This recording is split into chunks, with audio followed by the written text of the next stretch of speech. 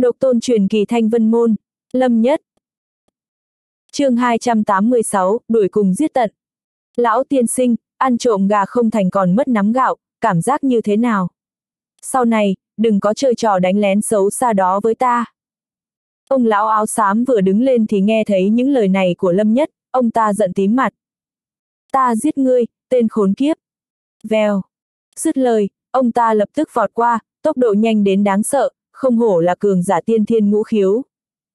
Mặc dù chỉ còn tay phải để sử dụng nhưng tu vi của ông lão áo xám vẫn còn đó, một quyền đánh ra mang theo uy lực khủng bố, khiến lòng người kinh hãi. Nói cho cùng thì cũng cao hơn hai cảnh giới, Lâm Nhất hiểu được bản thân không thể liều mạng. Nhưng hắn cũng không hề luống cuống, nhanh nhẹn lắc người tránh thoát. Đối phương chỉ có thể sử dụng một tay, sớm muộn gì cũng sẽ lộ sơ hở, thế nên Lâm Nhất không vội so chiêu. Tên tiểu tử kia lại đâm đầu vào chỗ chết, vậy mà dám trêu chọc cường giả tiên thiên ngũ khiếu. Dù đã gãy một tay thì tiên thiên ngũ khiếu muốn giết tiên thiên tam khiếu chẳng khác nào giết một con kiến. Không biết lượng sức. Trên đỉnh núi, cuộc tranh đoạt dung nham chi tâm đã đến hồi gai cấn. Không ít người chú ý đến trận chiến giữa Lâm Nhất và ông lão áo xám, cả bọn đều cười khẩy. Tiên thiên tam khiếu có thể tự bảo vệ bản thân đã là tốt lắm rồi, vậy mà còn dám gây chuyện với người khác. Không muốn chết thì là gì? Từ hiện trường có thể thấy, thế công của ông lão áo xám vô cùng hung hãn, chỉ cần chạm vào lâm nhất, với tu vi thâm hậu của đối phương, có thể lập tức khiến hắn trọng thương, một chiêu đủ để đánh bại hắn. Nhưng đã qua 10 chiêu, tuy lâm nhất có vẻ chật vật một chút, mỗi một chiêu thức đều vô cùng hung hiểm, nhưng hắn vẫn không bị thương. Thời điểm khí thế của ông lão áo xám yếu đi, lâm nhất vẫn luôn né tránh đột ngột ra tay. Audio điện tử võ tấn bền Sức mạnh 20.000 cân hòa cùng ngọn lửa linh nguyên bá đạo dũng mãnh, tất cả tụ chung trong một chiêu hổ khiếu sơn lâm được đánh ra. Dầm. Trong tiếng nổ, lâm nhất bị bắn ngược về sau hơn 10 bước, mới miễn cưỡng đứng vững được. Máu trong người ông lão áo xám sôi lên, ông ta chỉ hơi lui lại một chút, lộ vẻ trào phúng, cũng có chút bản lĩnh đấy, nhưng như thế mà cũng dám ngông cuồng à. Hôm nay lão phu sẽ cho ngươi biết thế nào là tuyệt vọng. Vậy à, Vậy ông tiếp một kiếm của ta thử xem. Khóe miệng lâm nhất nhếch lên, thông qua một trưởng vừa rồi, hắn đã biết được thực lực cao nhất của ông ta. Sau một kích đó, trong lòng hắn đã có tính toán. Xoẹt, cổ kiếm hạp mở ra, cánh hoa ngập trời phút chốc tàn lụi trên đỉnh núi, lâm nhất cầm lấy kiếm, thuận thế chém ra. Thân kiếm tựa như làn thu thủy tỏa ra kiếm quang màu vàng sáng chói, một kiếm của lâm nhất thoáng chốc bộc phát ra 9981 tàn ảnh. Mỗi một tàn ảnh đều ẩn chứa kiếm quang hung mãnh, khi bóng kiếm chồng chất lên nhau, lôi âm xuất hiện. Chính là chiêu thứ nhất phong khiếu như lôi trong thức cuồng phong của bộ kiếm pháp tiên thiên thượng phẩm lôi âm kiếm pháp. Tiếng nổ như sấm rền thình lình vang lên, sộc thẳng vào tai ông lão áo xám khiến đầu ông ta ông ông, sắc mặt tái đi. Theo sau tiếng sấm là kiếm thế vô tận bao phủ xung quanh ông lão áo xám. Một kiếm chém xuống lại khiến ông ta sinh lòng sợ hãi. Vèo. Vừa rồi còn ngông nghênh la hét, nhưng hiện tại ông ta đã điên cuồng lui về sau, lòng bàn tay bắt đầu lóe sáng, ngưng tụ một thanh trường đao, hóa ra là bị buộc phải xuất ra võ hồn. Phá cho ta! Có trường đao trong tay, sắc mặt ông lão áo xám càng thêm dữ tợn, lưỡi đao điên cuồng nhảy múa, lao đến hỏng phá vỡ một kiếm này của Lâm Nhất. Âm! Um, đao kiếm chạm nhau, âm thanh không ngừng vang vọng, ông lão áo xám đã đánh giá thấp uy lực của một kiếm này. Đơn đao trong tay ông ta hoàn toàn không thể ngăn cản được, chấn động khiến ông ta phun ra một ngụm máu tươi, lại lần nữa lùi bước. Kiếm pháp thượng phẩm. Ông lão áo xám lộ vẻ kinh ngạc, nhanh chóng đoán được một kiếm này của Lâm Nhất chính là võ kỹ tiên thiên thượng phẩm. Thậm chí còn mạnh hơn rất nhiều so với kiếm pháp tiên thiên thượng phẩm tầm thường. Giết! Giành được ưu thế, nhưng Lâm Nhất cũng không nương tay, hắn bay vọt lên, thế kiếm như gió. Mỗi một kiếm đều vô cùng hung mãnh, bộc phát lực sát thương kinh người. Thông qua 10 chiêu trước đó, hắn đã sớm nhìn ra được sơ hở của đối phương. Thế nên mỗi một kiếm đều có mục tiêu rõ ràng, ra tay nhanh như chớp, nhắm vào sơ hở của ông lão áo xám. Khiến ông ta vô cùng chật vật, một thân tu vi không cách nào phát huy được, bị rơi vào tình thế bị động, khổ không thể tả. Mỗi lần định phản kháng thì kiếm của Lâm Nhất lại như độc xà vây lấy điểm yếu của ông ta chỉ cần dám nhúc nhích thì đảm bảo sẽ bị bổ làm hai ngay tại chỗ. Âm. Um. Lại 10 chiêu trôi qua, lúc này, tất cả điểm yếu trên người đối phương đều đã hiện rõ, Lâm Nhất chém ra một kiếm, vạch một đường kiếm dài trên ngực đối phương, trông vô cùng đáng sợ, máu tươi tuôn ra như suối. Đồng thời, kiếm kình mạnh mẽ hất tung ông lão áo xám ra ngoài, ngã thật mạnh xuống đất. Thịch thịch thịch, Lâm Nhất bước lên vài bước, ngay khi đối phương chuẩn bị ngồi dậy thì mũi kiếm của hắn đã chĩa thẳng vào mi tâm ông ta. Lão tiên sinh, giờ thì nói cho tôi biết xem, thế nào là tuyệt vọng. Lâm Nhất cầm chặt kiếm, trên khuôn mặt điển trai thoáng hiện ý cười. Kiếm quang lạnh lẽo gần trong gang tấc, chỉ cần khẽ nhúc nhích thì sẽ lập tức mất mạng. Ông lão áo xám vô cùng hoảng sợ, mặt ông ta trắng bệch, vội cầu xin tha thứ tiểu huynh đệ, lão phu biết sai rồi, mong ngươi hạ thủ lưu tình. Dung nham chi tâm mà ta lấy được năm nay cũng sẽ cho ngươi. Ta không hoa mắt đấy chứ. Tiểu tử kia vậy mà lại thắng. Đã có chuyện gì xảy ra, mới không chú ý một chút mà đã xoay chuyển tình thế rồi à. Cảnh tượng ông lão áo xám nằm dưới đất cầu xin tha thứ khiến mọi người không khỏi kinh ngạc, khi nhìn về phía lâm nhất, sắc mặt bọn họ thoáng thay đổi. Dung nham chi tâm của ông thì cứ giữ lại mà dùng, sau này đừng có trêu vào ta. Ở đây có nhiều người như vậy, thu dung nham chi tâm của ông ta chỉ mang đến tai họa. Ông lão áo xám đã bị phế một cánh tay, lại chịu một kiếm của hắn, hiện tại ông ta không còn là mối nguy, lâm nhất tra kiếm vào vỏ, cũng không đuổi cùng giết tận. Trong tay hắn có một khối dung nham chi tâm. Nhưng ngay khi lâm nhất vừa thu kiếm, trong mắt ông lão áo xám lóe lên tia độc ác, ông ta dùng hết sức giống lên. Xoạt xoạt xoạt, tiếng giống của ông ta thu hút sự chú ý của rất nhiều người, mọi người đổ dồn ánh mắt về phía lâm nhất, trong mắt bọn họ lóe lên sự tham lam. Dung nham chi tâm ngũ phẩm ư, phải biết ông lão áo gai có tu vi tiên thiên thất khiếu kia cũng chỉ mới hàng phục được dung nham chi tâm lục phẩm mà thôi. Vèo. Lúc này lập tức có ba người bay vọt lên trời, lưỡi dao sắc bén trong tay chém về phía lâm nhất. Đúng là tai họa không thể lưu mà. chương 287, ỉ mạnh hiếp yếu. Lâm nhất thầm thở dài nhìn ba kẻ muốn giết mình, trong mắt hắn lóe lên tia sáng lạnh. Bán bộ kiếm ý, nhân kiếm hợp nhất. Choang! Tàng hoa kiếm lại lần nữa ra khỏi vỏ, thoáng chốc, kiếm thế mở ảo bao quanh lâm nhất, vừa xoay người, bán bộ kiếm ý ảo ảo bộc phát. Vẻ mặt ba người đánh về phía hắn có hơi đổi sắc, cảm giác người trên mặt đất dường như đã hoàn toàn thay đổi thành một người khác. Kiếm thế của hắn sâu không lường được, cứ như đã dung hợp cùng trời đất này. Viêm ma chi khu. ầm, um, cơ thể lâm nhất đột nhiên phình to ra, cơ bắp toàn thân căng phồng, làn da đỏ như nung trong lửa, đứng giữa núi thiên hỏa càng làm nổi bật khí tức bạo ngược. Hắn hệt như viêm ma ở sâu trong lòng đất, không chỉ biến đổi về ngoại hình mà ngay cả khí chất cũng biến hóa nghiêng trời lệch đất. Bán bộ kiếm ý, viêm ma chi khu, hai con ách chủ bài được sử dụng cùng lúc. Ba người đang đánh tới đột nhiên cảm thấy hơi trột dạ, nhưng vẫn chưa hết. Lạc hoa nhất thuấn. Thế giới của lâm nhất thình lình biến thành một màu đen kịt, giữa trời đất, một đóa tường vi thê lương, lung lay sắp dụng đang lắc lư vô định trên thân ba người kia. Bọn họ lập tức biến sắc, có cảm giác như tử thần đang nhìn chòng chọc vào mình, khi ánh mắt lâm nhất hướng về phía này, dường như trời đất đã hoàn toàn bài xích họ. Xoạt! Hoa tường vi đong đưa qua lại, cuối cùng che phủ phía trước người ở giữa, keng, lâm nhất vung kiếm chém. Lạc hoa nhất thuấn, xảo tung tức thệ.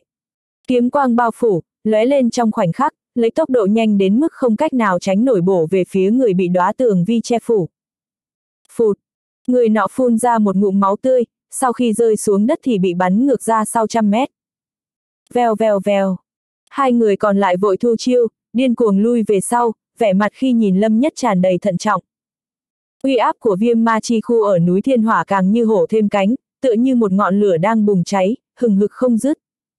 Lâm nhất đặt kiếm ngang trước người, trầm giọng nói, muốn lấy dung nham chi tâm của ta thì trước hết phải chuẩn bị tâm lý sẽ chết.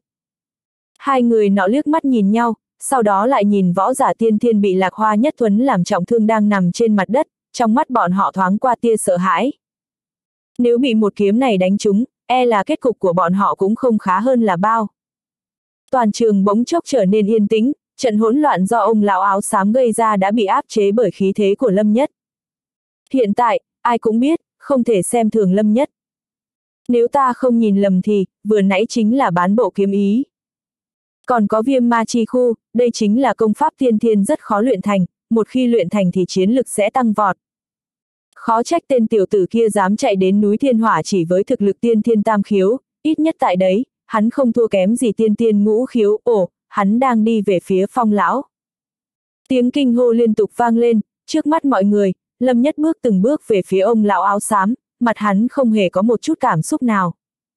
Ông lão áo xám lộ vẻ tuyệt vọng, ông ta thật sự không ngờ Lâm Nhất lại có thể giữ được dung nham chi tâm. Âm, um, viêm ma chi khu còn chưa tiêu tán hết, lúc này, sắc mặt Lâm Nhất vô cùng lạnh lùng, hắn không nói một lời, trực tiếp đẩy đối phương vào động hỏa diễm. Ông lão áo xám không kịp thét lên một tiếng đã bị dung nham trong hang động không đáy thiêu đốt thành cho tàn. Thủ đoạn tàn nhẫn khiến người khác không khỏi dùng mình. Sau khi cơ thể đã trở lại bình thường, viêm ma chi khu tàn hết, Lâm Nhất quét mắt nhìn quanh một lượt, lúc này, không có ai dám khinh thường hắn. Võ giả trên đỉnh núi tiếp tục thu hoạch dung nham chi tâm. Có điều, phong ba vẫn chưa chấm dứt, trên đỉnh núi đã xảy ra rất nhiều trận chiến ác liệt giữa các võ giả, chưa bao giờ dừng lại. Ở núi Thiên Hỏa, bốn năm trăm võ giả tiên thiên đã thể hiện một cách tinh tế quy luật tàn khốc trong thế giới võ giả. Không có thứ gọi là đạo đức tồn tại, đứng trước lợi ích, kẻ mạnh luôn được tôn sùng. Mưa núi lửa kéo dài suốt hai canh rời mới hoàn toàn dừng lại, khoảng thời gian sau đó, Lâm Nhất nhặt được thêm vài khối dung nham chi tâm tam phẩm và tứ phẩm. Còn dung nham chi tâm ngũ phẩm thì phải dựa vào vận may. Hiện tại, núi thiên hỏa phun trào đã mang đến kỳ ngộ rất lớn, chỉ cần có thể sống, thì gần như ai cũng có thu hoạch. Nhưng, cũng có không ít người chết. Nhìn sơ qua, xương khô trên đỉnh núi cũng phải hàng trăm bộ. Lấy ra, Lâm Nhất đang định nhắm mắt tính thu thì đột nhiên phát hiện ông lão áo gai có tu vi tiên tiên thất khiếu kia đi đến trước mặt tất cả võ giả, thản nhiên cướp đoạt dung nham chi tâm. Tại đây, tu vi của ông ta có thể xem như độc nhất vô nhị, nên không ai dám từ chối. Mọi người giận mà không dám nói gì, ngoan ngoãn giao ra một khối dung nham chi tâm.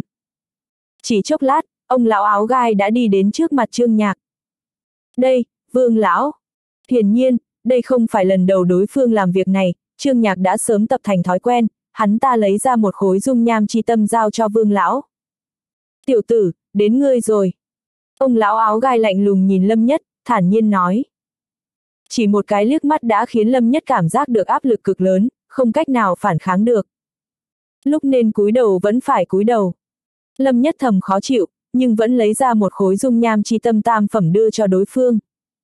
Ha ha, ta không cần dung nham chi tâm tam phẩm. Ông lão áo gai cười gằn, sát khí trong mắt thoáng ẩn hiển, khí thế tiên thiên thất khiếu mạnh mẽ cũng âm thầm bộc phát.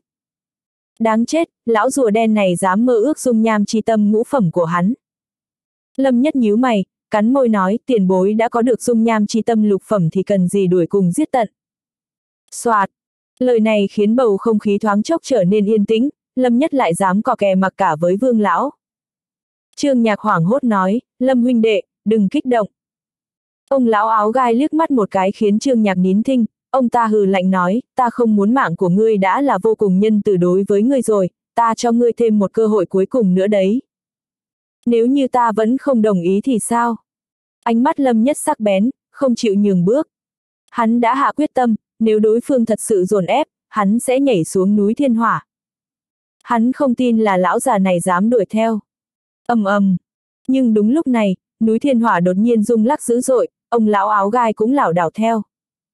Một luồng khí tức kinh khủng điên cuồng bộc phát từ trong động hỏa diễm. Chuyện gì vậy? Sắc mặt mọi người lập tức thay đổi, vội quay đầu nhìn về phía động hỏa diễm cực lớn trên đỉnh núi chương 288, nếu ngươi không tranh đoạt thì sao có thể nổi bật. Trong lúc Lâm Nhất và lão giả áo gai đang đối chọi căng thẳng thì núi thiên hỏa bỗng lắc lư dữ dội. Trong động hỏa diễm bộc phát ra khí tức đáng sợ khiến mọi người đều biến sắc. Khí tức này, lão giả áo gai chẳng thèm đoái hoài gì tới Lâm Nhất mà vội chạy tới động hỏa diễm. Cộp cộp cộp, ai tự nhận là kẻ có trí tuệ hơn người thì đều chạy tới đó, họ muốn xem trong động hỏa diễm đã xảy ra chuyện gì. Nhưng đều vô dụng. Dù là lão giả áo gai có tu vi tiên thiên thất khiếu, sau khi tới gần phạm vi 1.000 mét thì đều bị chặn lại. Một áp lực đáng sợ hùng hổ bao trùm chung quanh khiến những người chạy đến khó tiến lên thêm dù chỉ là nửa bước. Trương Nhạc đã vội vã chạy tới, đến bên cạnh Lâm Nhất, Lâm huynh đệ, thừa dịp này, người mau đi đi. Lão giả áo gai là kẻ có thù tất báo, tâm tư ác độc, người từng chống đối ông ta đều đã chết. Lâm Nhất khẽ cười, ta ngu vậy sao? Tất nhiên ta cũng biết điều đó, lão già này sẽ không dừng tay dễ dàng đâu. Nhưng Trương Đại ca cứ yên tâm, ta có thủ đoạn của mình, ít nhất thì ở tại núi Thiên Hỏa này, lão già đó sẽ không làm gì được ta. Núi Thiên Hỏa chọc thẳng vào mây, cao tới vạn trượng. Bất cứ khi nào, Lâm Nhất cũng có thể nhảy xuống, còn lão giả áo gai dám không? Đừng nói ông ta, dù là cường giả cảnh giới huyền vũ cũng chưa chắc dám làm điều đó. Trương Nhạc nhìn dáng vẻ đã tính trước mọi chuyện của Lâm Nhất, trong lòng an tâm, hắn ta phát hiện càng ngày mình càng không thể nhìn thấu vị huynh đệ này. Dùng sức của mình để đánh trọng thương lão giả áo gai. Cũng có thể nói là do lão giả áo gai quá chủ quan, bị Lâm Nhất đánh tàn phế một tay trước nên chiến lực giảm mạnh. Ba tên võ giả tiên thiên ngũ khiếu phía sau đánh bất ngờ lại bị một kiếm của hắn uy hiếp, còn hù dọa những kẻ khác, đó là nhờ thực lực mạnh mẽ. Điều còn điên rồ hơn là Lâm Nhất dám chống lại lão giả áo gai. Trương đại ca, trước kia nơi này có từng xảy ra tình huống thế này không? Lâm Nhất nhìn động hỏa diễm phóng ra áp lực đáng sợ mà hỏi. Trương Nhạc lắc đầu, sau khi núi thiên hỏa bùng nổ thì sẽ có được sự bình yên trong 7 ngày chứ chưa có khi nào như hiện giờ là bùng nổ rồi lại có thêm tình huống lắt léo thế này. Nên nói là thật ra lần bùng nổ trước vẫn chưa hoàn toàn kết thúc. Trong mắt Lâm Nhất lóe lên tia sáng, trông hắn như đang suy tư.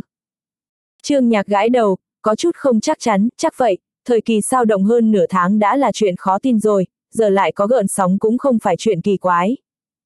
Tình huống hôm nay đã vượt quá sự hiểu biết của hắn ta. ầm ầm, trong núi thiên hỏa truyền ra vài tiếng nổ lớn, cả đỉnh núi như con thú hoang đang nổi giận, điên cuồng. Lâm Nhất và Trương Nhạc loạn choạng theo, đứng không vững. Một giây sau, vô số nham thạch nóng chảy tràn ra từ trong động hỏa diễm. Trước đây, nham thạch nóng chảy luôn ngưng tụ thành trụ lửa rồi phóng lên trời nhưng lần này, chúng lại như bị máy ném đá bắn ra, văng tung tóe. Một người đàn ông trung niên mặc áo bào dài đang tò mò quan sát động hỏa diễm thì bất ngờ bị nham thạch nóng chảy bắn trúng. Bỗng một tiếng động lớn vang lên, cơ thể người này nổ tan tành, không chừa cả xương cốt. Lâm nhất biến sắc, vội xoay người nằm úp sấp xuống mặt đất. Tiếng hét thảm thiết vang vọng, vài tiên thiên ngũ khiếu đã tới gần cũng không kịp tránh nên bị nham thạch bắn trúng, nổ tan xác mà chết. Tiên thiên ngũ khiếu mà không đỡ nổi một đòn, từ đó có thể đoán được trong nham thạch nóng chảy chứa đựng năng lượng cỡ nào. Ngay cả lão giả áo gai cũng khom lưng né tránh, không dám đứng dậy. Nham thạch nóng chảy bắn tung tóe một vòng rồi động hỏa diễm cũng dần yên tĩnh lại, mọi người vừa ngạc nhiên vừa nghi ngờ, không dám manh động. Mấy người chết trước đó đều chính là vết xe đổ. Vèo vèo vèo. Ngay vào lúc này, từng trụ ánh sáng màu vàng phóng lên từ trong động hỏa diễm, chúng cũng chiếu thẳng lên trời. Một lát sau, những đám mây vàng phủ kín bầu trời, nhuộm không trung trong phạm vi 50 dặm thành màu vàng nhạt. Dị tượng. Không ngờ lại xảy ra dị tượng, thế này là bảo vật xuất thế. Trước đó từng có một lần xuất hiện dị tượng, khi ấy là 800 năm trước rồi. Mọi người nằm sấp, hơi thở trở nên rồn rập bảo vật à. Bảo vật được ra đời ở núi Thiên Hỏa chắc chắn là dung nham chi tâm thất phẩm. Đối với những người tu luyện công pháp tiên thiên thuộc tính hỏa thì đó là thứ có sự cuốn hút chí mạng. Nhưng dù thế nào, nhìn dị tượng này, giá trị của dung nham chi tâm cũng sẽ không thấp hơn thất phẩm. Trong tay Lâm Nhất có dung nham chi tâm ngũ phẩm đã khiến nhiều người vô cùng hâm mộ. Dung nham chi tâm thất phẩm thế này thì e là nhiều người ở hiện trường sẽ liều mạng để có nó. Trong mắt Lâm Nhất bắn ra tia khát vọng nóng cháy, hắn muốn tu luyện viêm ma chiến thể. Dung nham chi tâm có phẩm chất càng cao thì uy lực của chiến thể sẽ mạnh hơn. Bùm! Dung nham nóng chảy trong động hỏa diễm lại sôi sục dữ dội, bắt đầu không ngừng cuộn trào, một ngọn lửa màu máu bay lên. Màu đỏ máu giúp nó cực kỳ nổi bật trong trụ ánh sáng vàng. Ngọn lửa màu đỏ chuyển động như có mạng sống, nhìn kỹ thì mới thấy trong đó có càn khôn. Trong ngọn lửa này còn có mấy tầng lửa đang cháy, tầng này đến tầng khác, có tất cả 8 tầng. Dung nham chi tâm bát phẩm. Vèo. Nhất thời, hơn trăm bóng người điên cuồng xông lên, bay về phía ngọn lửa đỏ. Dầm dầm dầm. Nhưng cả đám người đều bị bắn ngược khi đụng vào trụ ánh sáng vàng. Ta không tin, cuồng long quyền. chương 289, không dành thì làm sao nổi bật. Lão giả áo tang bị đụng vào lại té xuống mặt đất, sau đó bay lên không trung, tung một đấm. Ông ta giống như một con rồng đang phẫn nộ, trên người còn toát ra uy nghiêm của rồng, kết hợp với tu vi thâm hậu của cảnh giới tiên thiên thất khiếu của ông ta nữa. Cú đấm đó bộc phát ra thanh thế đáng sợ, khiến những người đứng xem bên dưới đều hết lời ngợi khen. Bụp! Nhưng ánh sáng vàng đó giống như một kết giới, không hề lung lay dù chỉ một chút. Khi âm thanh cực lớn vang khắp trời đất, khóe miệng lão giả áo tang lại chảy máu, ông ta lại bị hất bay ra lại. Ông ta bị thương không nhẹ, một vài cao thủ tiên thiên lục khiếu thấy vậy thì mừng thầm. Ở núi Thiên Hỏa, lão giả áo tang là kẻ một tay che trời. Có ông ta ở đó, ai cũng phải đối mặt với áp lực rất lớn, bây giờ ông ta đã bị thương, rõ ràng là tin tốt. Mọi người nhìn đi. Có người ngạc nhiên thốt lên, dung nham chi tâm màu đỏ máu đó đang không ngừng dung chuyển giữa không trung. Lâm nhất hơi trao mày, hắn đã quá quen với cảnh tượng này. Trước đây khi hái hán kim liên cũng từng nguy hiểm như thế, nó biến ảo thành dị thú thượng cổ hán bạt khi gặp nguy hiểm. Vào lúc trụ ánh sáng màu vàng biến mất thì dung nham chi tâm màu đỏ máu đang chuyển động cũng biến thành một con huyết ma thú hung hãn. Trên người tỏa ra khí thức mãnh liệt và nóng rát, nó sải cánh, muốn bay khỏi núi thiên hỏa. Muốn chạy sao, không có cửa đâu. Sao đám cao thủ tiên thiên ở phía dưới có thể để cho nó chạy mất, lúc ánh sáng biến mất thì ai nấy cũng bay lên không. Họ thi nhau ra sát chiêu. ầm, um, chỉ trong tích tắc, mấy trăm chiêu thức của tiên thiên võ kỹ được đánh lên người huyết ma thứ. Mặc dù võ giả tiên thiên không thể bay nhưng họ đã mở cước khiếu, búng một cái là có thể bay lên cả trăm trượng. Họ dùng thân pháp di chuyển trong không trung thì có thể giữ được trong một khoảng thời gian. Tất cả đều điên cuồng tấn công huyết ma thứ. Dung nham chi tâm bát phẩm mới sinh ra vốn dĩ không thể nào bay lên trời nên luôn bị động chịu đánh. Nhưng đòn phản công của nó cũng rất sắc bén. Chưa được mấy giây thì đã có hơn 10 người bị thương nặng, có vài người xui xẻo rơi xuống đồng hỏa diễm và bị thiêu rụi ngay lập tức. Lâm nhất khẽ trao mày, theo như cục diện hiện tại thì huyết ma thứ sắp không chống cự được nổi nữa rồi. Đến lúc đó, chắc đến 8 phần là dung nham chi tâm bát phẩm này sẽ rơi vào tay của lão giả áo tang. Còn không thì nó cũng sẽ rơi vào tay của mấy cao thủ tiên thiên lục khiếu đấy, không có liên quan gì đến hắn. Phải nghĩ cách mới được. Trương Nhạc nhìn sang Lâm Nhất ở bên cạnh thì thấy hai mắt hắn sáng lên, nhìn chằm chằm vào huyết ma thứ trên không trung. Hắn ngạc nhiên nói, Lâm huynh đệ, đừng nói ngươi cũng có muốn có dung nham chi tâm đấy chứ. Sao lại không chứ? Trương Nhạc nghe vậy thì ngây ra, đáp lại, nhìn cục diện này, dù có lấy được dung nham chi tâm bát phẩm thì nó cũng là một củ khoai bỏng tay, nhất định sẽ bị vây đánh. Thế gian có kỳ ngộ nào mà không cần phải mạo hiểm đâu. Ai cũng giành, nếu như huynh không giành thì làm sao nổi bật hơn họ. Lẽ nào huynh định cả đời cũng sẽ dừng lại ở cảnh giới thiên tiên thấp kém sao? Lâm nhất hào khí ngất trời, giọng điệu của hắn rất kiên định, không có chút gì là do dự. Ai nấy cũng đều tranh giành, nếu ngươi không tranh thì làm sao có thể nổi bật. Chỉ có mấy chữ đó thôi mà cứ như tiếng sấm nổ, ù ù mãi không dứt trong đầu trương nhạc. Đạo lý rất đơn giản, nhưng hắn ta lại cứ không hiểu được, cứ sợ này sợ kia, không dám mạo hiểm. Hắn ta có thể ở lại trên núi thiên hỏa đến 4 tháng thì chứng tỏ thực lực không tồi. Nhưng tới giờ chỉ thu hoạch được một viên dung nham chi tâm, điều này có liên quan tới việc hắn ta luôn đặt mình ở vị trí an toàn. Tự mình lựa chọn bình yên thì lấy đâu ra thành quả. Trương đại ca, tránh ra chút nào. Trương nhạc giật mình, hắn ta thấy Lâm Nhất đang ở bên cạnh mình bộc phát ra viêm ma chi khu một lần nữa. Cơ thể hắn đột ngột nở to ra, cao đến 2 mét, lửa đỏ bốc trên đầu, khí tức đáng sức bộc phát ra. Tiên thiên thuần dương công trong cơ thể điên cuồng trỗi dậy, khí tức trên người càng lúc càng mạnh mẽ hơn. Trương nhạc vội vã né ra, khí nóng phát ra từ trên người lâm nhất đã khiến hắn ta cảm thấy hơi khó chịu. Hắn nắm tay chặt thành nắm đấm, linh nguyên tiên thiên không ngừng tụ lại. U u, ánh sáng của nắm đấm mang theo sức mạnh cuồn cuộn, nắm đấm bên phải của lâm nhất hơi mất kiểm soát và run lên. Ánh sáng đáng sợ của quyền này khiến Trương Nhạc cũng phải lạnh người khi nhìn thấy, nhưng Lâm Nhất vẫn chưa dừng lại, hành động của hắn có hơi điên cuồng. Lúc sức mạnh đạt đến mức giới hạn mà tay có thể chịu đựng thì Lâm Nhất giận dữ hét lên, quyền mang đó lên mặt đất. Quyền kiếm hợp nhất. Đồng thời, đoạn kiếm võ hồn bên cạnh phóng ra kiếm quang, được Lâm Nhất thúc đẩy. Quyền mang và kiếm quang đột một hợp nhất với nhau. Chỉ cần bất cần một chút thôi, hành động này sẽ mang lại hậu quả là bàn tay bị nổ nát bươm. ầm, um, sức mạnh đáng sợ khi kiếm và quyền hợp nhất đập mạnh xuống đất. Một tiếng ầm vang lên, cả núi thiên hỏa đều rung chuyển bởi nắm đấm đó. Sức mạnh lan ra dưới mặt đất, nham thạch cuồn cuộn trong động hỏa diễm cũng bắn lên mãnh liệt. Động hỏa diễm vừa mới sinh ra dung nham chi tâm giống như một thùng thuốc nổ, tiếp tục bùng nổ sau cú đấm của Lâm Nhất. Âm. Um. Trong lúc phun trào mãnh liệt, vô số dung nham điên cuồng bắn ra ngoài. Rất nhiều võ giả đang bao vây tấn công huyết ma thứ gặp cảnh bất ngờ đó đều không kịp trở tay. Nhớ đến uy lực đáng sợ của nham thạch thì mặt mày ai cũng biến sắc, thi nhau trốn chạy. Áp lực của huyết ma thứ đột ngột được giảm xuống, nó tìm phương hướng rồi chạy như điên. Á địch, ánh mắt ai nấy cũng thoáng qua vẻ lo lắng, bọn họ chỉ lo bỏ chạy, giờ muốn đuổi theo thì đã không kịp nữa rồi. Soạt, nhưng đúng vào lúc đó, một bóng người dường như đã đoán được huyết ma thú sẽ bỏ trốn, lập tức bay qua, chặn huyết ma thú đã bị thương nặng lại. Người này tung ra một đấm khiến huyết ma thú trở lại nguyên hình. Đến khi nhìn rõ được mặt của người đó là ai thì tất cả mọi người đều kinh ngạc, nói không ra lời, là Lâm Nhất. Ánh sáng lửa từ trong động hỏa diễm in trên khuôn mặt của thiếu niên thành một vùng đỏ ửng. Lúc này khuôn mặt thanh tú đó đầy vẻ kiên định. Ai cũng tranh giành, vậy tại sao ta lại không tranh? Trương Nhạc kinh ngạc há hốc miệng, nhìn cảnh tượng đó với vẻ không thể nào tin nổi. Muốn chết mà. Lão giả áo gai vô cùng tức giận, sát khí toát lên khắp người. Tên tiểu xúc sinh đáng chết, giết hắn đi. Những người khác cũng vậy, vừa kinh ngạc vừa tức giận, lúc định thần lại thì ào ào xông lên. chương 290, cuối cùng cũng có thu hoạch.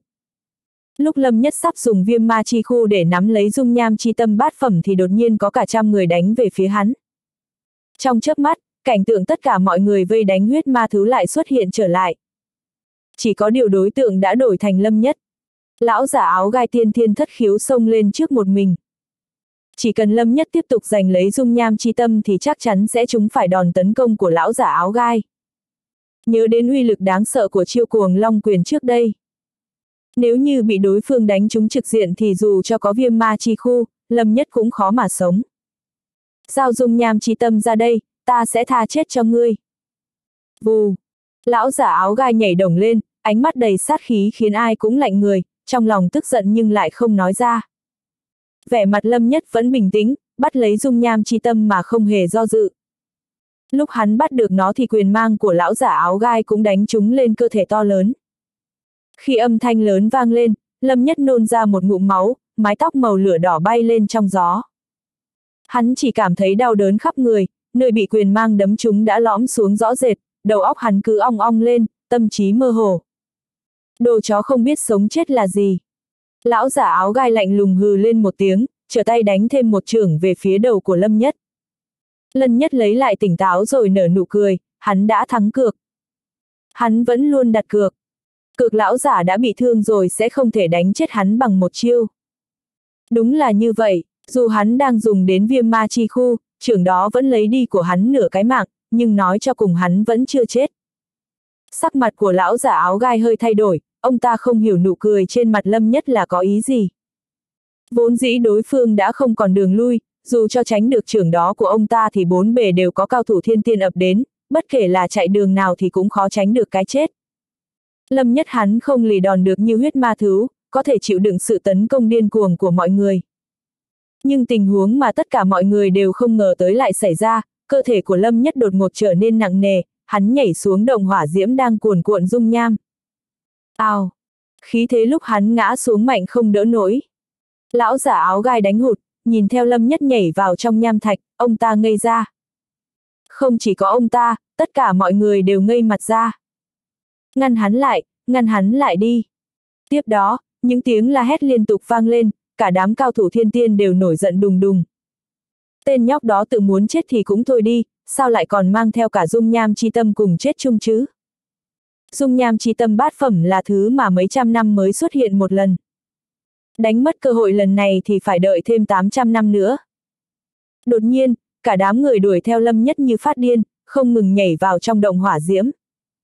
Nhưng đã muộn rồi, lâm nhất đã có ý định này từ sớm, hắn đã đi trước một bước, chìm vào trong nham thạch đang cuộn trào. Xẹt xẹt, các cao thủ thiên tiên điên cuồng đuổi theo, không chịu từ bỏ. Họ thi nhau hít hơi ngược vào trong, ai cũng sợ đến tái mặt. Trong thời khắc quan trọng, họ lấy đà, thi nhau bay lên không. Bọn họ đứng bên mép của động hỏa diễm, nhìn nham thạch sôi sùng sục, tức đến nghiến răng nghiến lợi. Đúng là đồ xúc sinh, dung nham chi tâm 800 năm mới xuất hiện một lần đấy. Cái tên tiểu xúc sinh này, bản thân muốn chết thì thôi đi, việc gì phải hủy đi bảo bối chứ. Đáng ghét mà, sớm biết sự tình thế này thì giết hắn cho xong. Mọi người đứng xung quanh lớn tiếng mắng, vô cùng hối hận. Nhưng cả đám chỉ có thể mở to mắt nhìn, dù cho họ có mắng bao nhiêu đi nữa thì cũng không có ai dám xuống đó, vẻ mặt mọi người phải nói là rất đặc sắc. Lâm huynh đệ. Trương Nhạc cảm thấy vô cùng áp lực, hắn ta đến bên cạnh hố dung nham, nhìn dòng nham thạch sôi sùng sục, mặt mày biến sắc. Hắn ta tận mắt nhìn thấy Lâm Nhất sau khi chịu nỗi đòn tấn công của lão giả áo gai thì chủ động nhảy vào trong động hỏa diễm. Thì mặt hắn liền trắng bệch, bây giờ, hắn đến bên cạnh động hỏa diễm mà vẫn không tin nổi. Chết rồi sao? Lời của Lâm Nhất vẫn còn văng vẳng bên tai hắn ta. Nhưng Lâm Nhất chết như thế thì thật sự khiến hắn ta không thể chấp nhận được. Ùm! Um. Lúc mọi người đang lớn tiếng mắng nhiếc thì có một bóng người nhảy theo Lâm Nhất vào hố dung nham đang cuồn cuộn. Là vương lão. Lão giả áo gai không cam lòng, mạo hiểm nhảy xuống. Vẻ mặt của những người đứng xung quanh không ngừng thay đổi. Theo lý mà nói, vào giây phút mà Lâm Nhất nhảy vào thì hắn đã bị dung nham cuồn cuộn bên trong thiêu thành bã rồi. Dung nham chi tâm bát phẩm không đến mức chìm quá sâu. Nếu như thật sự nhảy xuống đó, không chừng vẫn còn cơ hội giành được dung nham chi tâm bát phẩm. Nhưng cuối cùng đám người này vẫn không đủ quyết đoán, chỉ lo dẫm chân, không biết tính sao. Một lúc sau, cả đám than thở, dần rời xa trung tâm đỉnh núi. Lúc đứng gần động hỏa diễm thì luôn phải chịu đựng áp lực rất lớn nên đương nhiên thời gian lâu dần, họ đều tản đi hết. Nói ra thì cũng là báo ứng, trước đây tên nhóc này ném ông lão áo xám vào dung nham, giờ thì hắn lại tự chết trong đó, đấy là nhân quả luân hồi. Có điều nói đi cũng phải nói lại, thiếu niên này đúng thật là một nhân tài, tuổi còn trẻ mà đã có bán bộ kiếm ý, còn luyện được viêm ma chi khu, nếu cho hắn thêm chút thời gian nữa thì nhất định sẽ vang danh bốn bể đại tần ta. Bây giờ hắn cũng đã chết rồi, nói những điều này cũng vô dụng. Trương Nhạc nghe mọi người bàn tán thì trong lòng cảm thấy rất khó chịu và hơi buồn bã. Đến lúc này, hắn ta vẫn chưa hoàn toàn tin tất cả là sự thật. Ai cũng tranh giành, nếu như huynh không giành thì làm sao xuất đầu lộ diện. Mặc dù ngươi nói không sai nhưng Lâm huynh đệ à, có cần phải đánh đổi bằng tính mạng không? Trương Nhạc thở dài thườn thượt, nhiều cảm xúc lẫn lộn. ầm, um, chương 291, Tiên Thiên Thuần Dương Công, đến đây đã đạt viên mãn. Trong miệng hố lửa, một đạo quang mang lóe lên, chính là lão giả áo gai, mặt xám mày cho đi ra, quan sát sắc mặt vô cùng khó coi của người này, mọi người biết ông ta chắc chắn không diễn. Vẫn chưa tìm được dung nham chi tâm bát phẩm. Nhưng cũng nằm trong dự đoán của mọi người, cho dù tu vi của lão giả áo gai đó đã đạt đến tiên thiên thất khiếu, cũng tuyệt đối không dám ở quá lâu trong miệng núi lửa, càng không dám tiến vào quá sâu. Trừ khi có cường giả cảnh giới huyền võ ở đây mới may ra có chút cơ hội. Nhưng thời gian qua lâu, cho dù là cường giả cảnh giới huyền võ tới thật thì cũng không biết phải làm gì. Lâm nhất chết rồi ư. Đương nhiên chưa chết, ngày đó hắn tu luyện thoải mái trên địa hỏa viêm mạch. Hiện tại ở trong dung nham nóng chảy này, chỉ cần không lặn xuống quá sâu thì không lo đến tính mạng. Tử viêm thánh hỏa trong hộp kiếm cổ trầm chậm bốc cháy, một đoàn lửa tử sắc trí âm trí hàn bao bọc lấy hắn vào trong. Nham thạch cuồng bạo bên ngoài, nhiệt độ khủng bố đều không thể tổn hại được đến hắn. Mặc dù không chết, nhưng trạng thái hiện tại của Lâm Nhất cũng không được tốt lắm. Ngay đến kiểm tra xem thương thế trên người nặng thế nào hắn cũng không làm được, mệt mỏi muốn ngủ, mí mắt nặng nề vô cùng. Khi thương thế nặng đến một mức độ nhất định, cơ thể sẽ tự động mất đi. Trong lòng Lâm Nhất hiểu rõ, đây là bản năng tự vệ của thân thể, không để lãng phí năng lượng dư thừa, một mực chống cự chỉ mang lại phản tác dụng mà thôi. Với cường độ thân thể của ta, khi chìm vào giấc ngủ có lẽ có thể hồi phục lại được 5-6 phần. Nghĩ như vậy Lâm Nhất dần dần không suy nghĩ nữa, trực tiếp chìm vào giấc ngủ trong dòng nham thạch nóng chảy cuồn cuộn này. Mấy ngày sau, đến khi hắn tỉnh lại lần nữa, tinh thần đã khôi phục được không ít. Nhìn xuống trước ngực, xương sườn vẫn như trước hơi lõm vào, Lâm Nhất thầm nghĩ nguy hiểm thật. Cho dù Lâm Nhất có tính toán kế hoạch cướp lấy dung nham chi tâm bát phẩm, thì với thực lực của lão giả áo gai chắc chắn sẽ xông pha đi đầu. Chỉ cần đi tranh thì ít nhất phải chống cự được một kích của lão giả áo gai. Bất luận có tính cách nào thì cũng không thể né tránh được một kích này. Nhưng cũng may lão giả áo gai khi công kích kết giới trước đó đã bị thương không nhẹ. Nếu như vẫn có thể đánh ra cuồng long trưởng thì Lâm Nhất không dám cam đoan hiện tại hắn còn có thể sống được hay không. Nhưng bây giờ đã không sao rồi, điều quan trọng là hắn đã thành công. Đây chính là dung nham chi tâm bát phẩm sao. Nhìn linh khí trong lòng bàn tay tràn trề, huyết diệm lưu động giống như sinh mệnh, Lâm Nhất lộ ra vẻ cực kỳ tò mò. So với dung nham chi tâm ngũ phẩm trong túi chữ vật của hắn thì vật trước mắt còn có linh tính hơn nhiều. Vạn vật trên thế gian đến một mức độ nhất định e là đều sẽ sinh ra linh tính. Có dung nham chi tâm bát phẩm này, viêm ma chiến thể của ta chắc cũng được bát phẩm nhỉ. Về phần viêm ma chiến thể hoàn mỹ nghĩ đến đã thấy tốt rồi. Dung nham chi tâm hoàn hảo tương đương với thần vật, ngàn năm hiếm thấy một lần. Tạm không vội ngưng tụ viêm ma chiến thể, đợi ra ngoài rồi tính. Về phần làm thế nào để ra ngoài thì Lâm Nhất sớm đã nghĩ xong rồi. Đỉnh núi thiên hỏa sớm muộn gì cũng sẽ phát nổ, đợi đến ngày núi lửa phun trào chính là lúc hắn thoát khỏi vòng vây. Bằng không, bất luận lúc nào cũng nguy hiểm trùng trùng. Tùy tiện một cường giả tiên thiên lục khiếu cũng khiến hắn lãnh đủ. Thu lượng xong dung nham chi tâm bát phẩm, Lâm Nhất lấy ra vài miếng dung nham chi tâm khác. Hắn chuẩn bị tu luyện tại đây, có dung nham chi tâm ngũ phẩm áp trục, hẳn là đủ để tu luyện thiên thiên thuần dương công đến viên mãn. Chợt không nghĩ nhiều nữa, hắn nắm lấy một miếng dung nham chi tâm tam phẩm, lặng yên bắt đầu luyện hóa. Âm, um, linh hỏa thuần túy hàm chứa bên trong dung nham chi tâm đột nhiên cuồn cuộn như sông lớn, liên tục không ngừng xông vào trong cơ thể. Linh nguyên liệt diệm du động trong kinh mạch lập tức trở nên hưng phấn, vô cùng tham lam hấp thu lấy. So với linh nhũ tiên thiên thì linh hỏa thuần túy này bổ dưỡng với tiên thiên thuần dương công hơn. Toàn thân lâm nhất sảng khoái, có sự thoải mái không nói nên được bằng lời, cảm giác từng tế bào trong cơ thể đều đang hưởng thụ. Cảm giác này thật sự tuyệt vời, chẳng trách lại có nhiều võ giả tiên thiên thuộc tính hỏa không quản tính mạng đến ngọn núi thiên hỏa này, quả thật là đồ tốt. Thời gian từng ngày trôi qua. Nửa tháng sau, Lâm Nhất đã luyện hóa hấp thu đến dung nham chi tâm ngũ phẩm. Khí tức trên người ầm ầm bạo tăng, từng sợi liệt diệm kim sắc cuồn cuồn dao động trong tứ chi bách hài, giống như hàng trăm con sông cùng hợp lại vậy. Không ngừng kích động, va chạm, trộn lẫn, cuối cùng ngưng tụ thành một luồng khí xoáy kim sắc. Luồng khí xoáy kim sắc chói mắt rực rỡ, tựa như một mặt trời nhỏ trong người hắn. Tiên thiên thuần dương công, đến đây đã đạt viên mãn. Lâm Nhất mở hai mắt ra, tinh quang trong ánh mắt lóe lên.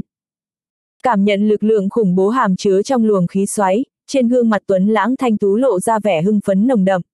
Lúc này, linh nguyên tiên thiên cương mãnh hùng hậu trong cơ thể khiến ngay đến bản thân hắn cũng phải có chút sợ hãi. Mạnh quá!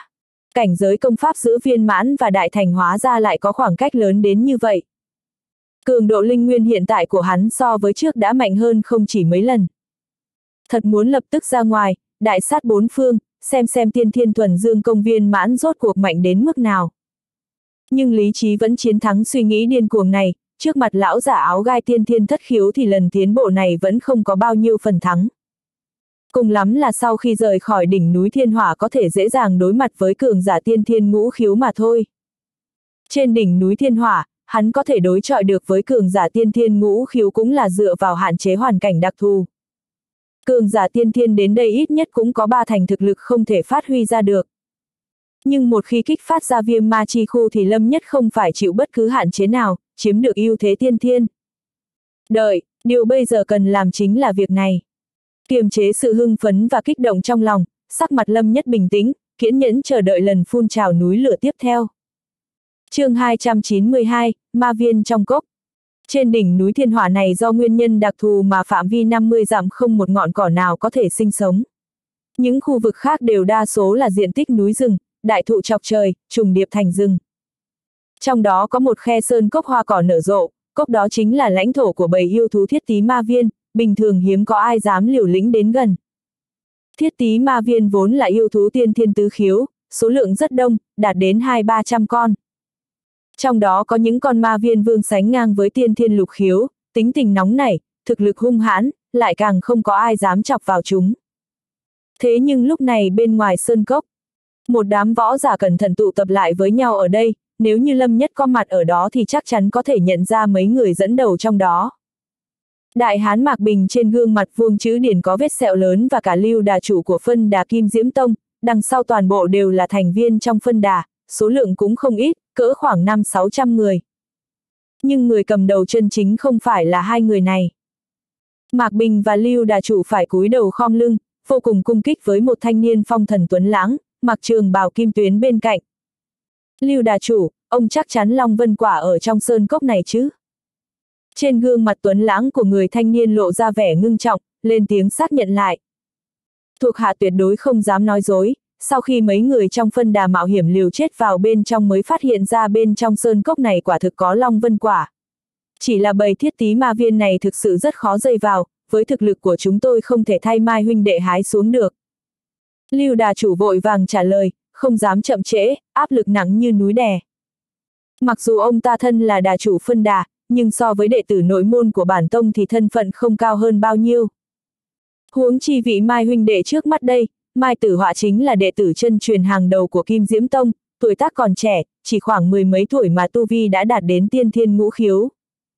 Chính là bất thế kỳ tài duy nhất tu luyện được Kim Diễm quyết đến tầng thứ ba trước 20 tuổi trong hàng trăm năm nay của Kim Diễm Tông. Cả tông môn đều gửi gắm kỳ vọng ở hắn ta rất cao. Thậm chí rất có thể vị trí tông chủ đời tiếp theo sẽ chính là Mai Tử Họa. Lưu đà chủ cho dù có gan lớn bằng trời cũng không dám bất kính trước mặt người này, chỉ có thể tận tâm hầu hạ. Huynh đệ, dựa trên sách cổ ghi chép lại, bầy đàn thiết tí ma viên này có truyền thống coi Long Vân Quả là thánh quả truyền thừa, mỗi đời ma viên vương mới lên đều sẽ nuốt Long Vân Quả để gia tăng thực lực, thống lĩnh bầy đàn. Mấy người đệ tử bản tông đứng sau lưng Mai Tử Họa cũng cùng mặc trường bào kim tuyến giống hắn ta, trong đó có một người lên tiếng nói. Vậy xem ra chắc không sai rồi, tìm được Long Vân quả coi như lập được đại công, ta cũng không mong chờ các người thật sự giúp ta lấy được nó. Thần sắc Mai Tử Họa lạnh nhạt, thoải mái nhẹ nhàng nói một câu, khiến Lưu Đà Chủ và Mạc Bình đều vui sướng không thôi. Công lớn, hiển nhiên sau chuyện này sẽ không thiếu phần thưởng cho hai người bọn họ. Cảm ơn Mai huynh đệ. Mai Tử Họa xua tay, rồi tập hợp mấy sư đệ của mình tới tụ lại một chỗ bàn bạc đối sách. Mạc Bình nói thầm với Lưu Đà Chủ, Đà Chủ, mấy người này giải quyết được thiết tí ma viên không? Bên trong có đến hai ba trăm con thiết tí ma viên đó, ngài không biết chứ đám thiết tí ma viên này cực kỳ khó chơi, phòng ngự mạnh mẽ, công kích hung hãn, thân pháp còn linh hoạt hơn so với chúng ta. Càng chưa nhắc đến còn có ma viên vương. Sắc mặt Lưu Đà Chủ hơi thay đổi, vội vàng ra hiệu cấm nói, suyệt. Nhỏ tiếng thôi, đừng để Mai huynh đệ nghe thấy. Người yên tâm đi, đệ tử bản tông kiến thức sâu rộng hơn chúng ta nhiều, thủ đoạn cũng cực nhiều. Người nhìn mấy người này đi, mặc dù tu vi chỉ là tiên thiên tứ khiếu, nhưng khí thức đều mạnh hơn chúng ta. Việc này thì không sai. Ánh mắt Mạc Bình nóng rực nhìn về phía mấy đệ tử bản tông, Mai Tử Họa thì thôi không cần nhắc đến, đây là kỳ tài được tông môn toàn lực bồi dưỡng. Mấy đệ tử tinh anh còn lại khí tức trên người ai ai cũng đều mạnh hơn hắn ta nhiều. Hắn ta rất rõ, đối phương tu luyện kim diễm quyết mới có thể có được khí tức cô động hùng hậu như vậy. Đáng tiếc, thành viên phân đà chỉ có thể coi như là thế lực vòng ngoài của kim diễm tông mà thôi. Muốn tu luyện được công pháp bản tông trừ khi lập được công lao cực lớn thì may ra mới có được chút khả năng nhỏ nhoi. Không ngờ lại có cả một tộc đàn thiết tí ma viên, cũng may chúng ta có chuẩn bị trước. Thực lực của ma viên vương ước chừng tương đương với tiên thiên lục khiếu, thậm chí còn mạnh hơn chút. Có điều cũng chỉ đến mức vậy mà thôi, uy hiếp lớn nhất vẫn là 200 con thiết tí ma viên kia, số lượng quá đông. Huynh đệ, chúng ta đem theo ngũ độc phấn, sát nhân hương, nhiễu hồn đan và mê hương tán, không biết dùng loại nào để đối phó với đám thiết tí ma viên này thì tốt. Mã tử họa có chút đăm chiêu, trầm giọng nói, thiết tí ma viên kháng độc cực cao, ngũ độc phấn rõ ràng không có tác dụng, nhiễu hồn đan và mê hương tán khuếch tán trên diện tích quá nhỏ, số lượng bị ảnh hưởng có hạn, sát nhân hương cũng không chắc có tác dụng hay không, thật sự phù hợp nhất là. Dừng lại một lát, Mai Tử Họa đưa ra quyết định, ánh mắt lóe lên vẻ ngoan lệ, nhẹ giọng nói, dùng sát nhân hương trước thử xem. Một vị sư đệ lấy ra một cây tử hương dài nhỏ. Mai Tử Họa vẫy tay, Lưu Đà Chủ và Mạc Bình vội vàng chạy tới. Vật này gọi là sát nhân hương, hai người có biết không? Mạc Bình còn đỡ, Lưu Đà Chủ vừa nghe vậy sắc mặt khẽ thay đổi, sát nhân hương này là vật kỳ độc. Một khi đốt cháy, người ngửi phải mùi hương sẽ lập tức rơi vào trạng thái điên loạn, trở nên hiếu chiến thị sát, không thể kiểm soát việc giết người. Nhưng thiết tí ma viên liệu có chúng sát nhân hương hay không thì vẫn chưa nói rõ được. Thuộc hạ biết. Lưu đà chủ thành thật trả lời. Rất tốt, ngươi chọn một người, vào trong cốc đốt hương này lên. Lưu đà chủ nghe vậy thì khẽ biến sắc, một khi vào trong cốc đốt hương thì người đốt hương chắc chắn sẽ phải chết. chương 293, tàn sát thiết tí ma viên. Không phải bị ma viên rơi vào cuồng loạn giết chết thì bản thân cũng trúng độc hương, khó kiềm chế bản thân, vẫn là một chữ chết. Nhưng nhìn thấy thần sắc lạnh nhạt của Mai Tử Họa, trong lòng lưu đà chủ rét lạnh, trầm giọng nói tuân mệnh. Một lát sau, một đệ tử phân đà không biết rõ sự tình cầm cây hương đi vào trong cốc. ầm ầm, người đó vừa vào bên trong chưa được bao lâu, đột nhiên đã vang lên âm thanh khổng lồ từ sau lưng mấy người, mặt đất khẽ rung chuyển. Chuyện gì vậy? Mai tử họa vội vàng quay đầu lại nhìn, nhưng rừng rậm um tùm che mất tầm nhìn, cũng không nhìn ra được gì. Đang định lên tiếng thì âm thanh long trời ầm ầm lại lần nữa xuất hiện. Lưu đà chủ mặt mày bình tĩnh nói, Mai huynh đệ không cần lo lắng, đó là mùa động đất của núi thiên hỏa sắp kết thúc rồi, núi lửa không bao lâu nữa sẽ lại phun trào. Quên mất điểm này. Mai tử họa nhớ lại, đó là một khối bảo địa, Kim Diễm Tông cũng đã từng chiếm cứ một quãng thời gian ngắn. Nhưng sau này thì phải từ bỏ, nguyên nhân chủ yếu là mất nhiều hơn được. Trừ khi phái cường giả cảnh giới huyền võ canh giữ trường kỳ, không rời một tấc, bằng không với sự hấp dẫn của núi thiên hỏa, cường giả tiên thiên ngũ khiếu thậm chí lục khiếu thất khiếu ở các quận xung quanh đều sẽ lũ lượt không ngừng mạo hiểm tới đây. Số lượng lớn võ giả tiên thiên hội tụ lại với nhau thì Kim Diễm Tông cũng phải chật vật đối phó. Cộng thêm còn liên quan đến các thế lực khác, cuối cùng không thể không nhả ra, để đỉnh núi Thiên Hỏa trở thành một vùng đất vô chủ. Mai huynh đệ, nửa tháng trước, núi Thiên Hỏa này đã xảy ra dị tượng thiên địa, đột nhiên nhớ đến chuyện này, Lưu Đà chủ lên tiếng cho hay. Dị tượng thiên địa, ánh mắt Mai Tử Họa lóe lên một mặt quang mang, nhưng chớp mắt lại trở nên u ám. Nửa tháng trôi qua, Kim Cúc Thái cũng nguội lạnh rồi, còn nói gì đến trọng bảo nữa. Nếu như đến sớm hơn chút thì tốt rồi, trước mắt chỉ hy vọng có thể lấy được Long Vân Quả, như vậy thì kim diễm quyết của hắn có lẽ sẽ có thể đột phá được đại thành, còn có thể sinh ra chút long uy. Kim diễm quyết chính là gốc rễ lập phái của kim diễm tông, cực khó tu luyện, cần ngộ tính khủng bố. Nếu như không có sức mạnh bên ngoài trợ giúp, chỉ dựa vào ngộ tính của bản thân thì rất khó tiến bộ. Hắn ta đã tốn mất 4 năm mới tu luyện được đến tầng thứ 3, đã là người có tốc độ nhanh nhất trong lịch sử tông môn rồi. A, à, đang hết sức suy tư thì trong sơn cốc đột nhiên truyền ra tiếng kêu gào cực kỳ bi thảm, thê lương giận người. Tiếp theo đó là từng tràng tiếng gào giống của đám ma viên không ngừng liên tiếp vang lên trong cốc, khiến người nghe kinh sợ không thôi. Huynh đệ, sát nhân hương có tác dụng rồi. Mấy tay đệ tử bản tông của Kim Diễm Tông trên mặt tỏ ra cực kỳ hưng phấn, mặt mày hớn hở. Khóe miệng lưu đà chủ co giật vài cái, cũng cười theo mấy tiếng nhưng nụ cười cực kỳ khó coi. Đám đệ tử bản tông này hoàn toàn không coi người trong phân đà bọn họ là người. Người vào trong đốt hương đó có lẽ đã chết rồi. Mai tử họa khó nén được vẻ vui mừng, sẵn giọng nói, lưu đà chủ, mạc hộ pháp. Có thuộc hạ. Sau nửa nén nhang, thiết tí ma viên có lẽ đã tự tàn sát nhau kha khá rồi, hai người dẫn đệ tử phân đà vào trong dọn dẹp thiết tí ma viên tàn dư. Mấy huynh đệ ta sẽ đối phó với ma viên vương, hiểu chưa? Tuân mệnh. Đây là phần thưởng cho các người, sau khi việc thành ta sẽ có trọng thưởng khác. Mạc Bình và Lưu Đà chủ lần lượt nhận lấy một chiếc bình ngọc, mở ra xem thì bên trong toàn là linh nguyên hùng hậu, tiên thiên đan giá trị quý báu. Mỗi bình thuốc ít nhất cũng phải có khoảng 30 viên. Vẻ mặt lập tức tỏ ra vui mừng, cao giọng nói, Mai huynh đệ yên tâm, hai chúng tôi đảm bảo sẽ hoàn thành nhiệm vụ. Thời gian trôi qua từng lúc, Mai tử họa nhắm mắt dưỡng thần. Đợi đến khi âm thanh ma viên tàn sát nhau trong cốc đã yếu ớt đi nhiều thì đột nhiên mở chừng hai mắt ra. Ánh mắt lóe lên vẻ tàn khốc, trầm giọng nói, động thủ. Cọ cọ cọ. Mạc Bình và Lưu Đà chủ dẫn đầu, dẫn theo năm sáu trăm người của phân đà chậm rãi giết vào trong. Một vị sư đệ có chút lo lắng nói, sư huynh, dược lực của sát nhân hương e là vẫn chưa tan hết, đám người này ngoài hai tên dẫn đầu ra thì những người khác sợ là rất khó chống đỡ được sát nhân hương.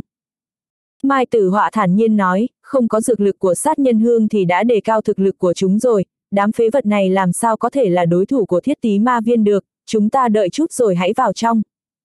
Một lúc lâu sau, nghe thấy âm thanh tàn sát trong cốc lại lần nữa vang lên. Mai Tử Họa trầm giọng nói, đi. Siêu. Mấy người lăng không nhảy lên, lên xuống vài đợt trong rừng rồi tiến vào trong sơn cốc.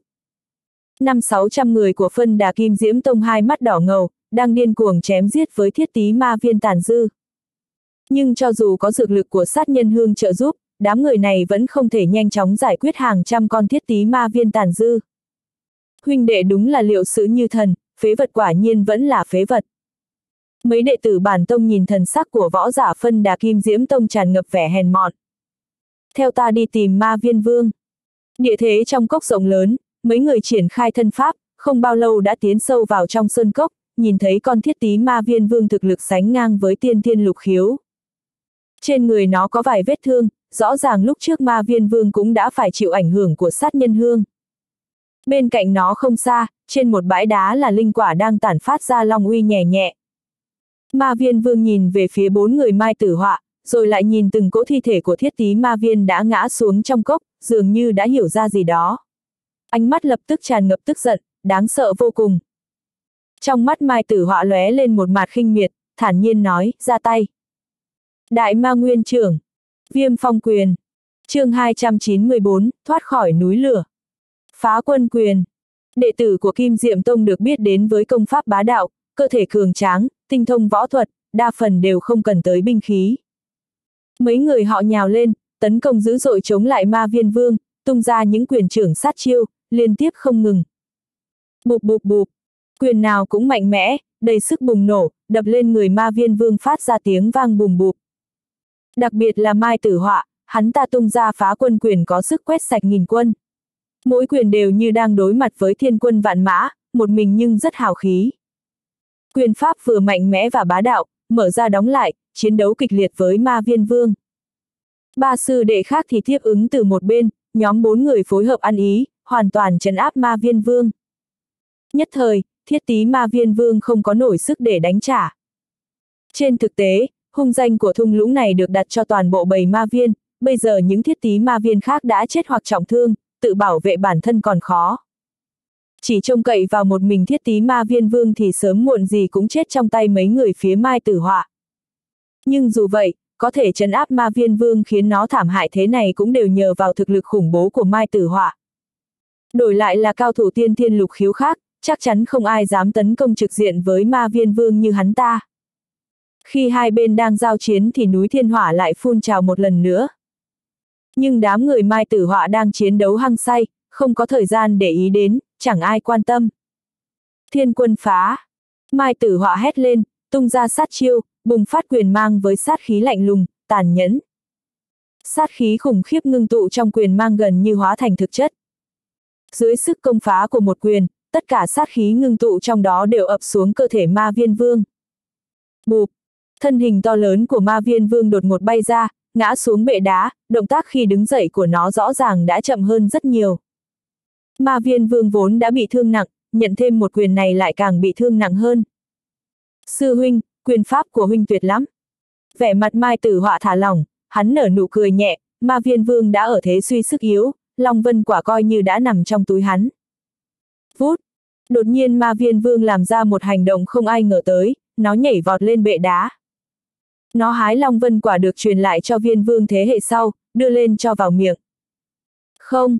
Mai tử họa biến sắc, nếu ma viên vương ăn mất thì mọi nỗ lực của hắn ta đều vô ích. Nhưng lúc này một sự thay đổi bất thường đột ngột xảy ra. Trên không trung có tiếng la hét sợ hãi vang lên, một bóng người điên cuồng rơi xuống với tốc độ kinh hoàng. Ma viên vương giơ tay lên, chuẩn bị bỏ long vân quả vào miệng. Nhưng nó còn chưa kịp phản ứng đã bị hộp đựng kiếm sau lưng người đó đập trúng. Một âm thanh cực lớn vang lên, bệ đá vỡ nát, bụi bay tứ tung, ma viên vương bị đè chết ngay tại chỗ. Khủ khủ, người ngã xuống chính là Lâm Nhất bị sức mạnh kinh thiên động địa phụt ra sau núi lửa phun trào. Hắn ho vài tiếng, đang ho thì có quả gì đó rơi vào miệng. Còn chưa hiểu chuyện gì xảy ra thì ực một tiếng, hắn đã nuốt quả đó xuống. Mọi chuyện diễn ra quá nhanh, gần như là lúc ma viên vương nhảy lên bệ đá thì có bóng người từ trên không trung rơi xuống. Vẻ mặt mai tử họa thay đổi rõ rệt, thời điểm bụi bay tán loạn hắn đã nhìn thấy rõ ràng quả kia rơi vào miệng lâm nhất. Long vân quả của ta. Mai tử họa ngây người tại chỗ, đầu óc trống rỗng, mất ý thức tạm thời. Hắn ta hoàn toàn không thể hình dung được, kế hoạch hoàn hảo không kẽ hở như vậy rốt cuộc xảy ra sự cố ở bước nào. Lâm nhất chỉ cảm thấy bụng dưới bốc hỏa, sức mạnh trong cơ thể sôi trào, điên cuồng khuấy động. Hắn nhìn Mai Tử Họa và mấy tên sư đệ của hắn ta, thấy ánh mắt như muốn giết người của bọn hắn, lòng thầm than không ổn, hắn bèn cười khổ giải thích, sư huynh à, huynh bình tĩnh nghe ta nói, chuyện này, thật sự là hiểu lầm. Ngươi đang sỉ nhục trí thông minh của Mai Tử Họa ta đây sao? Vẻ mặt Mai Tử Họa lạnh băng, hắn ta lạnh giọng quát, giết hắn. Vất vả lập kế hoạch vài tháng, sử dụng sức mạnh của cả một phân đà. Hắn ta còn dùng hết một cây sát nhân hương quý giá. Nhưng đến cuối cùng Long Vân quả lại bị một tên không biết từ đâu xuất hiện ăn mất. Mai tử họa tức nổ phổi, hắn ta lập tức sai sư đệ của mình giết Lâm Nhất. Ba đệ tử ưu tú của Kim Diệm Tông với tu vi tiên thiên tứ khiếu bước tới, nhào về phía Lâm Nhất, không cho hắn cơ hội giải thích. Lâm Nhất cũng bất lực, hắn đã chờ trong nham thạch nửa tháng. Cuối cùng cũng đợi tới lúc núi lửa phun trào, kết quả lại dẫn đến tai bay vạ gió này. Hắn không kịp nghĩ nhiều, vì cuộc tấn công dữ dội của ba đệ tử Kim Diệm Tông đã ập đến. Mạnh thật! Lâm Nhất nằm trên đất thầm nói, hắn thấy ba người này đều không đơn giản. Ra chiêu sắc bén, ai nấy đều hiểu rõ võ kỹ của mình, có lẽ họ đã đạt đến cảnh giới rất cao rồi. Công pháp tu luyện cũng không tệ, nhìn là biết tu luyện công pháp tiên thiên phẩm cấp rất cao. Lâm Nhất vừa ngã xuống còn chưa ổn định lại, mới đứng dậy đã hứng chịu đòn của ba người. Bịch bịch bịch, hai quyền mang, một trưởng mang khiến Lâm Nhất bay ra cả trăm mét, khí huyết hắn sôi trào, lục phủ ngũ tạng chấn động.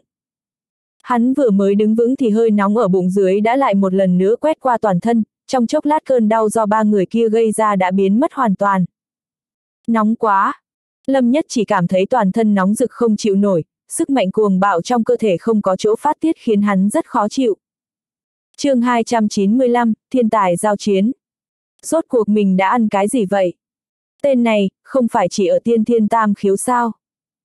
Ba đệ tử của Kim Diệm Tông thấy Lâm Nhất không hề bị thương thì hơi ngạc nhiên.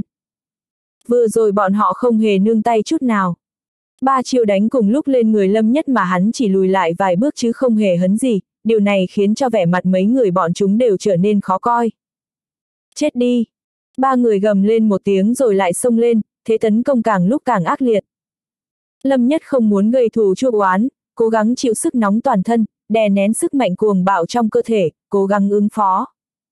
Ba vị huynh đệ nghe ta nói một câu đi, ta thật sự không có ý ăn long vân quả gì đó, nếu như có thể, ta sẽ bồi thường gấp đôi cho mấy vị. Nhưng lời giải thích của Lâm Nhất chỉ đổi lại đợt công kích mạnh mẽ hơn, chiêu nào cũng đều chí mạng. Vẻ mặt ba tên đệ tử của Kim Diệm Tông đều khó coi, bọn chúng không ngờ Lâm Nhất lại khó giải quyết như vậy. Vì thế chúng thầm chửi rủa trong miệng, đòn tấn công ngày càng ác hơn. Dù sao cũng là đệ tử ưu tú của Kim Diệm Tông, Lâm Nhất bị động phòng thủ, lại thêm trạng thái của hắn đang không ổn định nên chỉ sau 10 chiêu, hắn đã bị đối phương đánh bay. Phụt! Khóe miệng Lâm Nhất dỉ máu, vết lương lần này hiển nhiên nặng hơn vết thương lần trước. Lâm Nhất lau vết máu bên khóe miệng, nhìn vết máu trên tay, ý cười trên mặt hắn dần phai nhạt, xem ra mấy vị thật sự không định nhân từ. Cút, ai nhân từ với ngươi? Ngươi có đền nổi Long Vân quả không? Cướp đồ của Mai Sư Huynh, ngươi chỉ có thể lấy mạng để trả. Ba tên kia thấy cuối cùng Lâm Nhất cũng bị thương, vẻ mặt bọn chúng lãnh đạm, giọng điệu dần trở nên kiêu ngạo. Cũng được, thực ra ta cũng không thật sự có ý định nhân từ. Một nụ cười xấu xa xuất hiện trên môi Lâm Nhất, vẻ thờ ơ không mấy thân thiện hiện lên trên khuôn mặt tuấn tú khiến người ta không khỏi dùng mình. Đừng nói là vô ý, cho dù là cố ý thì Lâm Nhất cũng không quan tâm. Hắn chỉ không muốn vô duyên vô cớ gây thù chuốc oán thôi, nhưng nhóm người này không chịu dừng, còn muốn dồn hắn vào chỗ chết. Phải biết dung nham chi tâm bát phẩm mà hắn còn dám cố ý trộm. Huống chi là Long Vân Quả, ăn mất rồi thì thôi. Ba người của Kim Diệm Tông lại không quan tâm nhiều đến vậy. Nhìn thấy Lâm Nhất bị thương, bọn chúng cười khẩy rồi tiếp tục công kích, muốn giết chết hắn. Một tên ở cảnh giới tiên thiên tam khiếu nhưng hơn 10 chiêu vẫn chưa giải quyết được hắn, điều này là sự sỉ nhục lớn đối với bọn chúng. Viêm phong quyền, đại ma nguyên trưởng, tinh hỏa quyền, võ kỹ tiên thiên mà mỗi người nắm vững lập tức được tung ra, dưới sự phát động của kim diễm quyết, một luồng khí tức cuồng bạo quét qua. Tốt lắm! Lâm nhất quát lên một tiếng, luồng khí xoáy màu vàng kim ở đan điền điên cuồng xoay tròn, linh khí cuồn cuộn như sông Giang, hai tay hắn cũng đồng thời tạo kết ấn kỳ lạ. Bất diệt kim cương ấn. Ánh sáng vàng rực rỡ nhanh chóng hội tụ trong đôi tay rắn giỏi của Lâm Nhất. Khi hắn chuẩn bị xuất chiêu thì sức mạnh nóng nảy trong cơ thể cuồn cuộn dâng trào, ánh sáng vàng cuồng bạo thiêu đốt như ngọn lửa. Uy lực của bất diệt kim cương ấn bộc phát ầm ầm. Luồng sức mạnh điên cuồng và dữ dội trong cơ thể dồn vào hai tay của Lâm Nhất. Nếu còn không chút ra thì sức mạnh này sẽ làm cơ thể hắn nổ tung. Ánh lửa vàng rực bùng nổ, ba đại chiêu của đối phương lập tức bị quét bay. Sức mạnh đáng sợ không thể ngăn cản. Phụt phụt phụt. Ba đệ tử của Kim Diệm Tông phun ra một búng máu, lập tức bị đánh bay ra. Võ kỹ tiên thiên thượng phẩm. Không chỉ là thế đâu. Sau khi tiếp đất, ba tên loạn choạng rồi lại lùi về sau mấy bước, trong mắt chúng lóe lên vẻ sợ hãi, trên mặt là vẻ kinh ngạc. Đối phương ở tiên thiên tam khiếu nhưng ra tay lại khiến cả ba người bọn chúng phải lùi lại. Không chỉ vậy, ba người bọn chúng còn đều bị thương. Chưa kể, Kim Diệm Tông luôn được biết đến với sức mạnh thể chất. Bất diệt kim cương ấn còn chưa tan, sức mạnh của Long Vân Quả đã đột nhiên bùng nổ khiến toàn thân Lâm Nhất đều bực bội khó chịu. Tiếp đi. Sau khi tiên thiên thuần dương công viên mãn, linh nguyên vốn đã vô cùng mạnh mẽ lại càng trở nên bá đạo hơn. Dưới sự hỗ trợ của bất diệt kim cương ấn, Lâm Nhất chỉ dùng mãnh hổ quyền cũng đã đánh cho ba người họ vào tình thế chật vật. Sức mạnh cuồng bạo hoàn toàn không thể ngăn cản, ba người cảm thấy như mình đang chiến đấu với một con mãnh thú. Sau khi Lâm Nhất ra tay, trận chiến đã đảo ngược với tốc độ không thể kiểm soát. Dầm dầm dầm. Sau 10 chiêu, Lâm Nhất đấm cho ba đệ tử Kim Diệm Tông mỗi người một quyền, khiến bọn chúng hoàn toàn không còn sức đánh trả. Thoải mái. Sức mạnh được khai thông, sức nóng trong cơ thể Lâm Nhất và sức mạnh cuồng bạo của Long Vân Quả không những không còn khó chịu mà còn khiến hắn cảm thấy sảng khoái, dễ chịu, được hưởng lợi ích vô hạn. Sư huynh. Ba đệ tử Kim Diệm Tông gian nan bỏ dậy, nhìn Lâm Nhất với ánh mắt sợ hãi, nhanh chóng trốn sau lưng Mai Tử Họa. Có bản lĩnh đấy, xứng đáng để ta. Đến ngươi rồi. Mai Tử Họa còn đang ra oai, chưa nói ra hai chữ ra tay thì Lâm Nhất đã cười lớn, chủ động sát phạt về phía hắn ta. Không biết tự lượng sức mình. Mặt Mai Tử Họa chợt lạnh lùng, hắn ta xông về phía Lâm Nhất đang nhào tới như mãnh thú. Thiết tí ma viên vương hắn ta còn chẳng sợ, nói gì đến Lâm Nhất. Trong nháy mắt, hai người nhanh chóng đối đầu, liên tục tung chiêu, không có bất kỳ thao tác thừa thãi nào, quyền nào cũng thẳng vào người, trưởng nào cũng bá đạo, một đi không trở lại. Bụp bụp bụp, mặt đất dưới chân hai người rung lên rồi đột nhiên nổ tung, bắn tung ra thành từng mảng. Bụi bay khắp nơi, gió gào thét không ngớt. Ba đệ tử của Kim Diệm Tông há hốc mồm, ngạc nhiên nhìn cảnh này. Không ngờ đối phương thực sự có thể giao chiến với Mai Sư Huynh. Mai Sư Huynh ở trong số những người đồng trang lứa chưa bao giờ gặp người nào có thể đấu với mình hơn 10 chiêu. Đi mau. Ba tên còn chưa kịp ngạc nhiên nhiều thì dư chấn đáng sợ đã ập đến, bọn chúng vốn đã bị thương, lập tức bị đẩy ngược lại bay lùi về sau. Lại là một quyền dữ dội khác, cả hai tựa như lò lửa cháy hừng hực, không ngừng chuyển động tựa như mãnh thú bằng sắt thép, không màng đến hậu quả, tiếp tục liều mạng ầm um, có tiếng động lớn như tiếng sấm sét, mặt đất đột nhiên sụp xuống, bụi bay mù mịt. Vụt vụt, trong bụi đất có hai bóng người tách ra, Lâm Nhất lui về sau 10 bước, mỗi bước 10 mét, mỗi bước đi đều nặng nề, khi chạm đất liền để lại dấu chân thật sâu. Vẻ mặt Mai Tử hỏa khẽ thay đổi, hắn ta lùi lại ba bước mới đứng vững được. chương 296, mềm rắn cùng tồn tại. Trong mắt hắn lóe lên vẻ kinh ngạc, kim diễm quyết của hắn đã tới tầng 3, nhưng không ngờ sự hùng hậu linh nguyên của đối phương có thể sánh ngang với hắn. Lẽ nào công pháp tiên thiên của hắn đã tới đại thành? Ha ha ha ha, đã quá, đã quá, tiếp tục nào. Đang trong lúc kinh ngạc, chỉ thấy Lâm Nhất cười như điên, ánh hào quang phát ra từ hắn. Trong tiếng cười lớn, cơ thể hắn đột nhiên phồng lên, viêm ma chi khu lập tức được kích hoạt. Phá quân quyền. Mai tử họa cười khẩy, ánh sáng vàng lấp lánh toàn thân, khí thế một đấu nghìn quân lại xuất hiện trên người hắn ta. Bóng dáng hai người thấp thoáng, điên cuồng đánh nhau trong sơn cốc. Trên mặt đất mỗi nơi họ đi qua đều sẽ xuất hiện vết nứt toạc, sau đó nhanh chóng lan rộng ra, tiếp tục nổ ầm lên. Trận chiến đáng sợ khiến ba gã đệ tử Kim Diệm Tông phải dương mắt nhìn. Thực lực mà Lâm Nhất thể hiện hoàn toàn không giống tiên thiên tam khiếu. Quả thật không thể tin được, rốt cuộc hắn đã tu luyện bằng cách nào mà có thể dồn Mai Sư Huynh vào tình cảnh như vậy. Đồng thời họ cảm thấy vô cùng sợ hãi, nếu Lâm Nhất Sốc toàn lực từ đầu, có thể họ sẽ chết ngay tại chỗ. Kim Diệm Tông chỉ có thế thôi. Hai người lại tách ra, Lâm Nhất đáp xuống một tảng đá, cười nhạt, sau này sẽ gặp lại. Hắn không tiếp tục dây dưa, quay lưng bỏ đi. Ngăn hắn lại. Khóe miệng Mai Tử Họa ứa ra máu, sắc mặt tái nhợt, hắn ta nổi giận hét lên. Lưu Đà Chủ và Mạc Bình của phân đà Kim Diệm Tông nhận lệnh, vội vàng gọi hai, ba trăm đệ tử phân đà còn lại. Họ bao vây, tấn công về phía Lâm Nhất. Ai cản ta thì phải chết. Viêm ma chi khu của Lâm Nhất chưa biến mất, hắn phất tay, hộp đựng kiếm mở ra, táng hoa kiếm trong tay thuận thế bay ra khỏi vỏ. Leng keng. Chỉ trong tích tắc, người hắn di chuyển theo kiếm, tia sáng lóe lên, máu thịt văng tung tóe. Lâm Nhất đánh đầu thắng đó, chạy như ngựa phi, máu bắn tứ tung, không ai có thể đỡ được nửa chiêu của hắn. Một người một kiếm cứ thế không chút kiêng rẻ, đi tới đâu người chết tới đó. Là ngươi. Vừa thấy mặt Lâm Nhất, Lưu Đà Chủ và Mạc Bình lập tức biến sắc. Người trước mắt đúng là Lâm Nhất, kẻ mà họ nghĩ đã chết ở núi Thiên Hỏa. Cút đi. Trong tiếng quát lạnh, dưới sự trợ giúp của bán bộ kiếm ý, một kiếm của Lâm Nhất quét ngang để lại trên người họ một nhát chém, họ chưa kịp ra tay đã bị bán bộ kiếm ý kinh khủng đánh bay ra ngoài. Sau khi rơi xuống đất, vết thương trước ngực chảy máu không ngừng. Nhưng Lâm Nhất không thèm quan tâm họ sống chết ra sao mà vẫn cứ chạy như điên, đội ngũ hùng hậu hơn 200 người bị hắn giết chỉ trong tích tắc. Sau khi ra khỏi sơn cốc, xác định không có ai đuổi theo, Lâm Nhất mới cất kiếm vào vỏ. Phụt! Hắn há miệng hộc ra một búng máu, sắc mặt tái nhợt dần trở nên hồng hào. Máu bầm tích tụ khi đánh nhau với Mai Tử Họa trước đó đều bị phun ra hết. Khá lắm, công pháp của Kim Diệm Tông quả thật rất mạnh. Mắt Lâm Nhất thoáng qua vẻ nặng nề, chắc hẳn cấp bậc của Kim Diễm Quyết còn cao hơn tiên thiên thuần dương công của hắn. Nếu không thì thuần dương công đã đạt tới viên mãn đỉnh phong của hắn phải hoàn toàn áp chế đối phương mới đúng. Có điều, Lâm Nhất nở nụ cười, ta nên cảm ơn hắn, nếu không nhờ đánh nhau với hắn, sao ta có thể hấp thu Long Vân quả nhanh như vậy?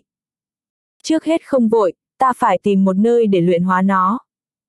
Trong sơn cốc vô cùng bừa bộn, thây chất thành đống. Thi thể của võ giả và thiết tí ma viên ngổn ngang, đâu đâu cũng có. Máu chảy thành sông, trong sơn cốc trống trải nồng nặc mùi máu, hệt như địa ngục trần gian. Không thể không nói trận chiến này khá thê thảm. Tác dụng của sát nhân hương thật sự quá khủng khiếp, nó không chỉ khiến thiết tí ma viên bị thương vong nặng nề, ngay cả đệ tử phân đà của Kim Diệm Tông cũng bị chúng chiêu rất nhiều. Cú phá vòng vây sau cùng của Lâm Nhất như một đòn chí mạng cho phân đà Kim Diệm Tông. Cả phân đà bị thiệt hại nghiêm trọng, khó có thể khôi phục trong vòng 10 năm đổ lại. Sư huynh, hình như người đó là Lâm Nhất. Một tên sư đệ của Kim Diệm Tông bước đến chỗ Mai Tử Họa, nhỏ giọng nói. Lâm Nhất, Lâm Nhất là ai? Mai Tử Họa hoang mang hỏi, hắn ta chưa từng nghe nói đến cái tên này ở quận Thanh Dương. Là kẻ đến từ bên ngoài, hồi còn tiên thiên nhị khiếu, hắn đã giết nhi tử diêm đằng của huyết phân môn. Hiện nay đang bị cả huyết phân môn truy nã, ban bố huyết sắc truy sát lệnh. Tên đệ tử giải thích, kể sơ lược về lai lịch của Lâm Nhất. Sư huynh, trong khoảng thời gian huynh bế quan có thể không biết, nhưng gần đây khắp quận Thanh Dương đang truyền tai nhau về hắn, khổng gia ở tử viêm thành cũng bị diệt môn vì hắn. Nhiều người tò mò, rốt cuộc hắn từ đâu đến mà lại to gan như thế. Mai tử họa trầm ngâm nói, không ngờ ngay cả nhi tử độc nhất của Diêm đằng hắn cũng dám giết. Thảo nào hắn dám cướp long vân quả của ta. Hắn ta biết Diêm đằng, đó là cao thủ cảnh giới huyền võ của huyết phân môn. Thực lực đáng sợ, thủ đoạn tàn ác, có thể nói ông ta khiến mọi người ở quận Thanh Dương chỉ cần nghe tiếng thôi đã sợ vỡ mật. Ngay cả Diêm Thiên Thủy cũng dám giết thì cướp một quả long vân quả của hắn ta đã là gì? Sư huynh, có cần bẩm báo chuyện này cho tông môn không? Không cần. Mai tử họa xua tay, mắt lóe lên sát ý, hắn đến quận Thanh Dương cũng vì di tích viễn cổ trong Thanh Dương giới, lúc đó ta sẽ đích thân cho hắn biết kết cục khi đắc tội ta. Những gã sư đệ khác cũng tự biết e rằng Mai sư huynh không muốn để chuyện hôm nay bị lộ ra ngoài. Một tên tiên thiên tam khiếu lại chạy thoát khỏi tay Mai tử họa. Nếu để lộ ra ngoài, chỉ sợ sẽ có ảnh hưởng rất lớn đến danh tiếng của hắn ta. Nhìn cảnh hỗn loạn trong sơn cốc, sát ý trong mắt Mai Tử Họa càng nhiều hơn. Đây là lần đầu tiên hắn ta thua đậm như vậy ở quận Thanh Dương kể từ khi bước chân vào giang hồ cho đến nay. Điều rắc rối nhất là hiện tại Lâm Nhất đã ăn mất Long Vân Quả, linh nguyên gần như vô tận, dù có đuổi theo đối phương thì sợ là cũng không ngăn cản được chương 297, thành công luyện hóa Long Vân Quả. Nếu đợi đối phương luyện hóa thành công Long Vân Quả thì thực lực e là sẽ tăng lên một tầng, đến lúc đó càng khó đối phó hơn. Tuy nhiên, Mai Tử Họa vẫn rất tin tưởng vào thực lực bản thân.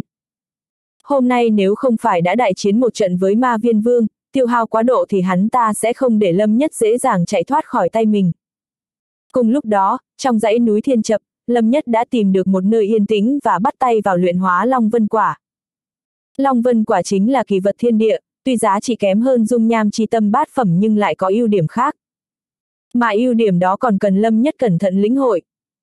Long Vân Quả này quả thật có hơi tà tính. Lâm Nhất khẽ nhíu mày, có chút lo lắng. Long Vân Quả ẩn chứa khí thức táo bạo, vô cùng đáng sợ, có khả năng ăn mòn thần trí, có thể ảnh hưởng đến bản tâm của hắn.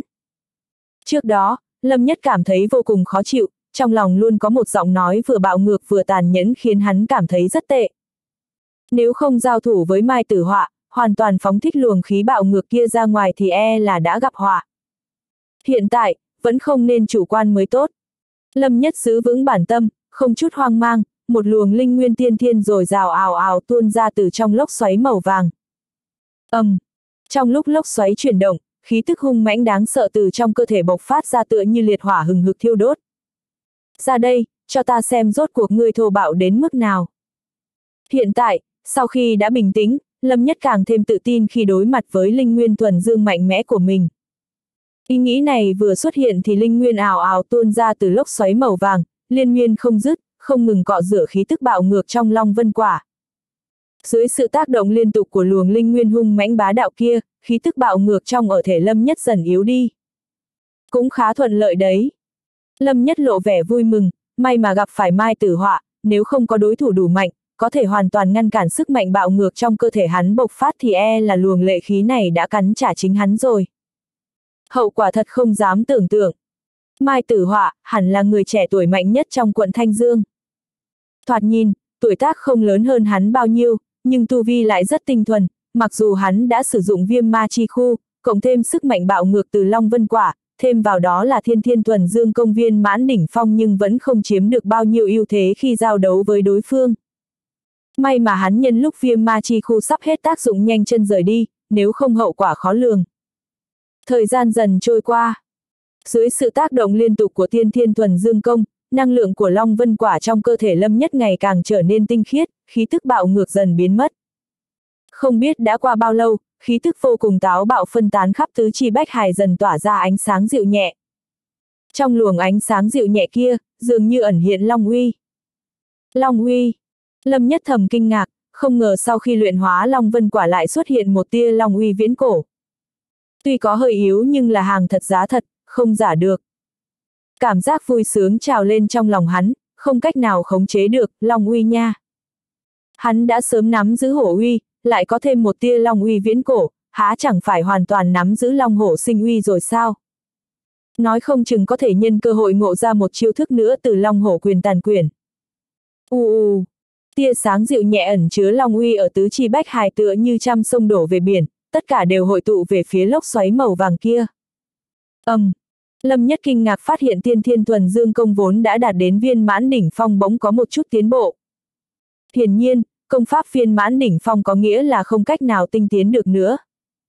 Nhưng dưới sự trợ giúp của tinh hoa năng lượng từ Long Vân Quả, nó lại có tiến bộ, linh nguyên thuần dương trí dương trí cương giờ có thêm một luồng nhu kình. Đã hiểu. Hèn gì mai tử họa khao khát Long Vân Quả như thế. Hắn ta tu luyện kim diễm quyết, so với tiên thiên thuần dương công càng hung hãn, mạnh mẽ hơn.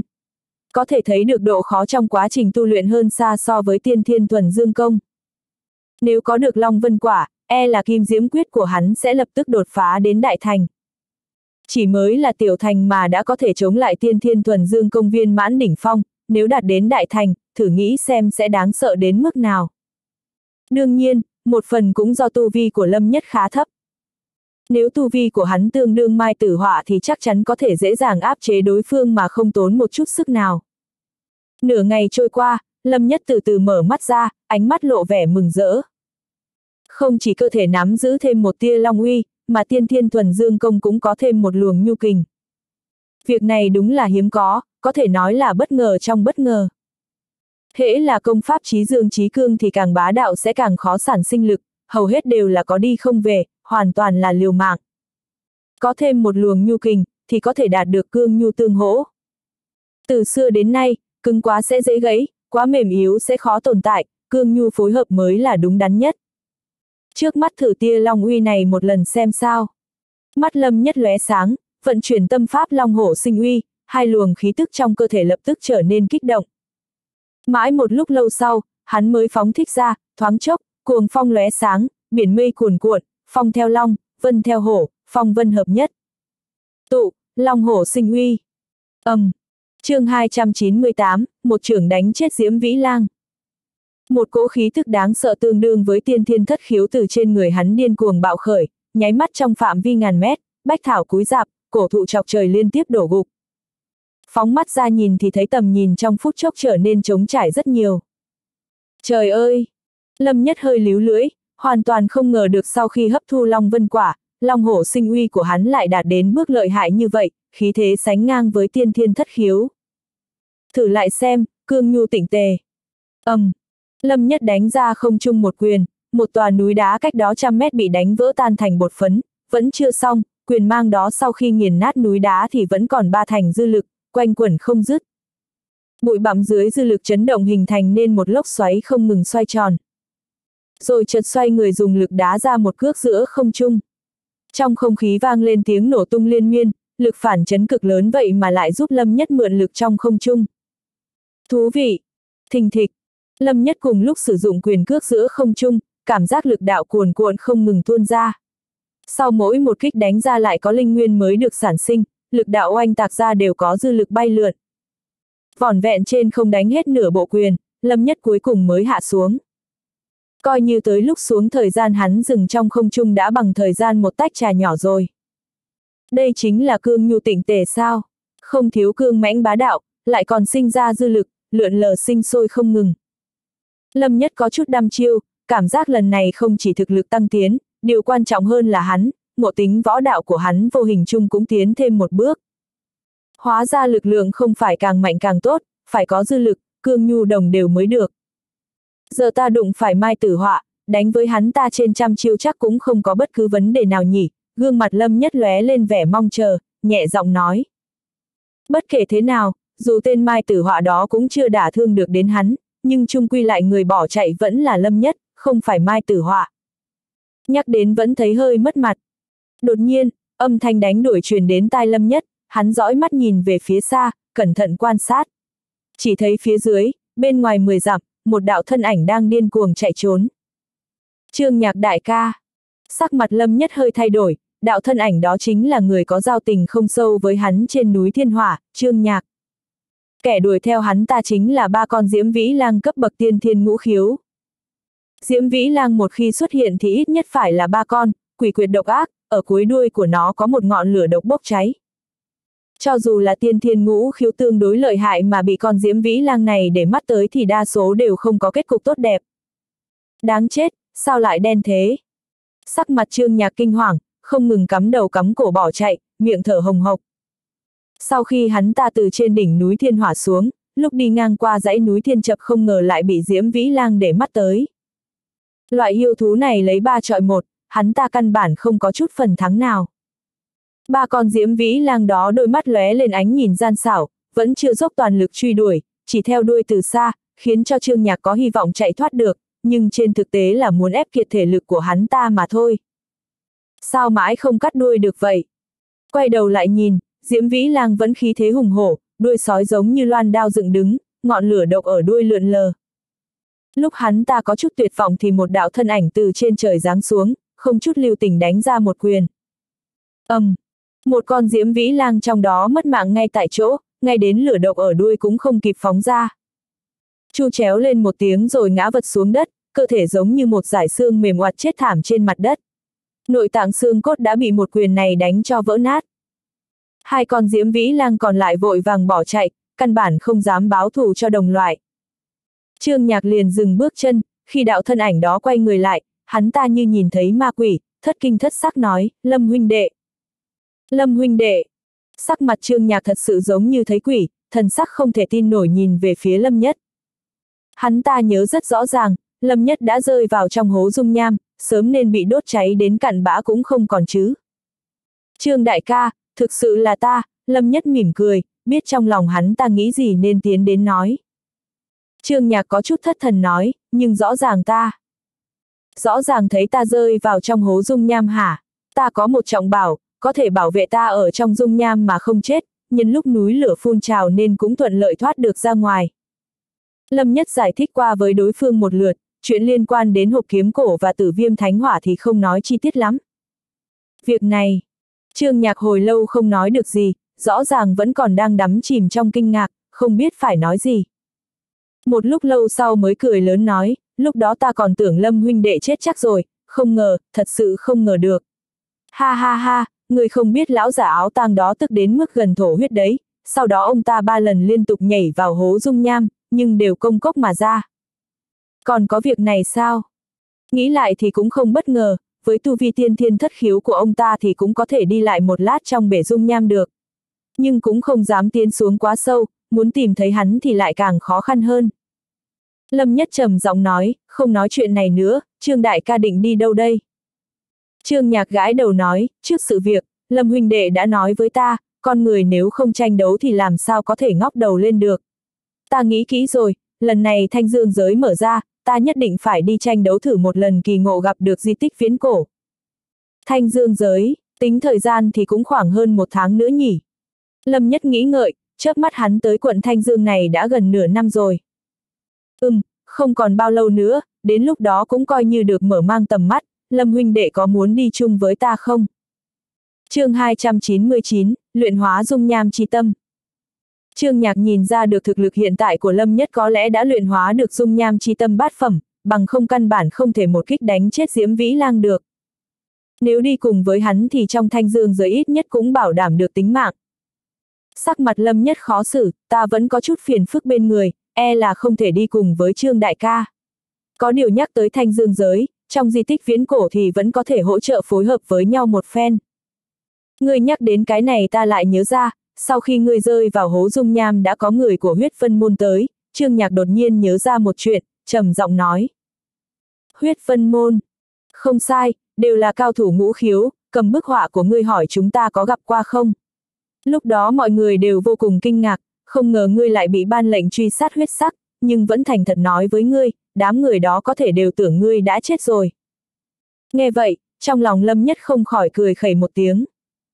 Người của huyết vân môn bám dai như đỉa, lại lục soát đến tận núi thiên hỏa hẻo lánh này. Xem ra, vẫn không nên coi thường thực lực của họ rồi. Đa tạ trương đại ca cho biết, nếu như không có việc gì thì chúng ta chia tay ở đây nhé. Việc nhỏ thôi mà. Siêu. Dứt lời, Lâm Nhất bay lên hạ xuống mấy cái rồi biến mất khỏi tầm mắt của Trương Nhạc. Trương Nhạc mặt nở nụ cười, bất kể thế nào vị Lâm huynh đệ này vẫn còn sống, cũng coi như là một chuyện đáng vui rồi.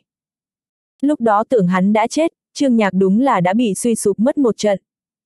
Nhìn lại con diễm vĩ lang xương cốt bên trong bị vỡ tan nằm chết trên mặt đất, Trương Nhạc lại âm thầm kinh hãi. Dung nham chi tâm bát phẩm thật sự cường đại, thực lực của Lâm huynh đệ đúng là càng ngày càng thâm sâu không lường được. Thực lực của Lâm nhất quả thực tăng lên không ít, nhưng Trương Nhạc lại đoán sai việc này. Bất kể là thuần dương công đạt đến bước cương nhu tịnh tề, hay là long hổ sinh uy sánh ngang được với khí thế của tiên thiên thất khiếu, đều giúp thực lực của hắn tăng lên mãnh liệt. Nhưng những thứ này không phải nhờ vào dung nham chi tâm, mà là dựa vào một quả long vân cơ duyên trùng hợp.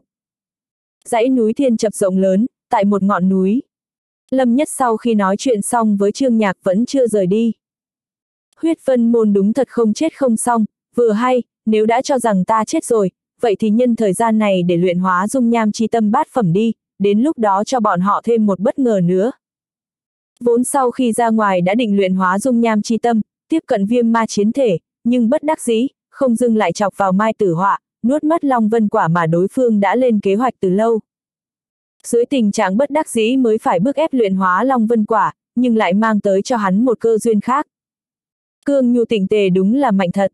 Ánh mắt lâm nhất lóe lên thần sắc hưng phấn, kích động không thôi.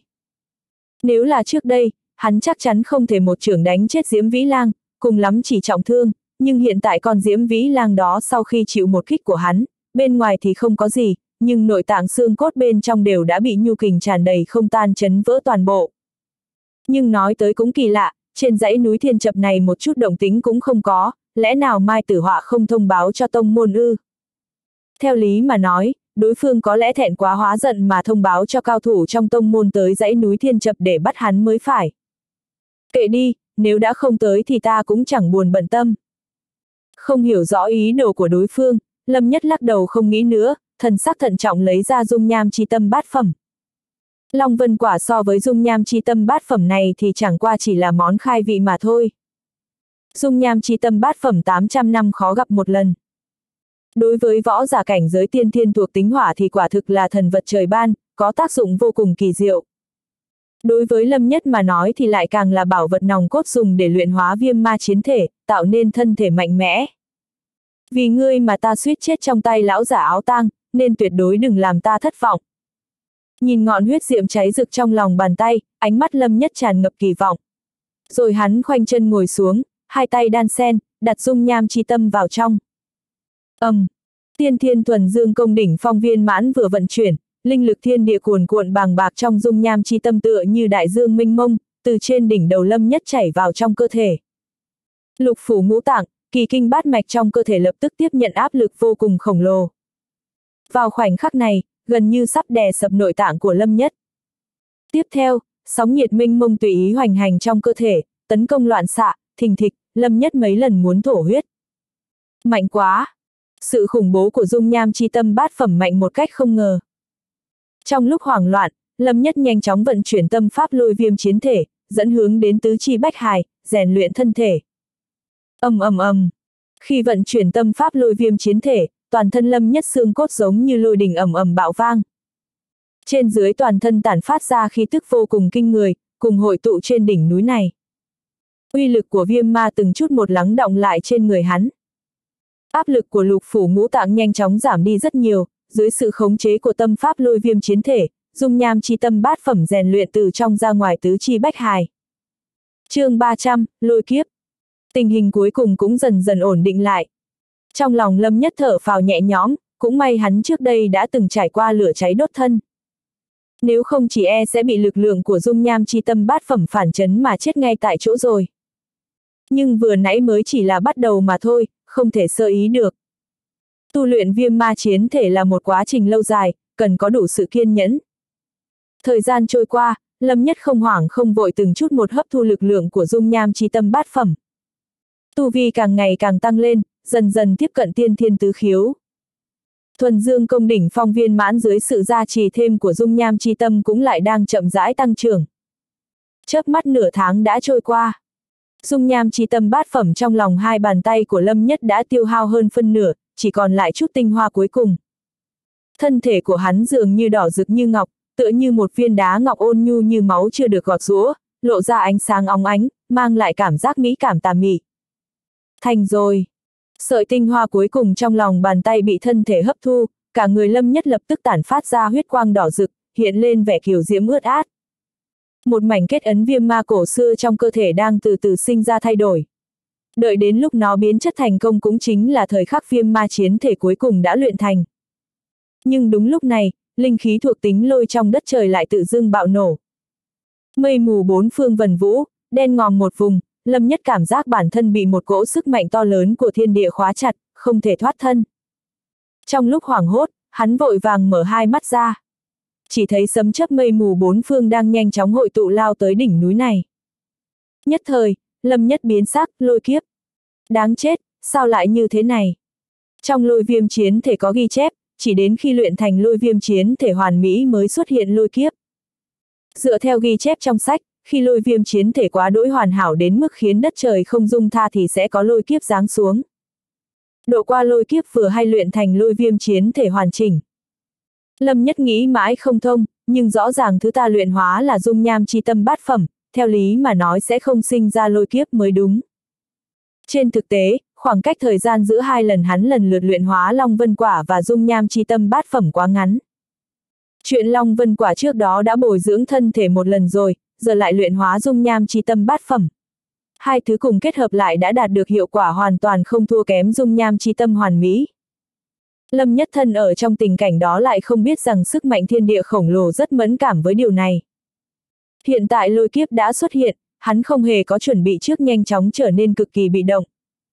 Đáng ghét, đến rồi.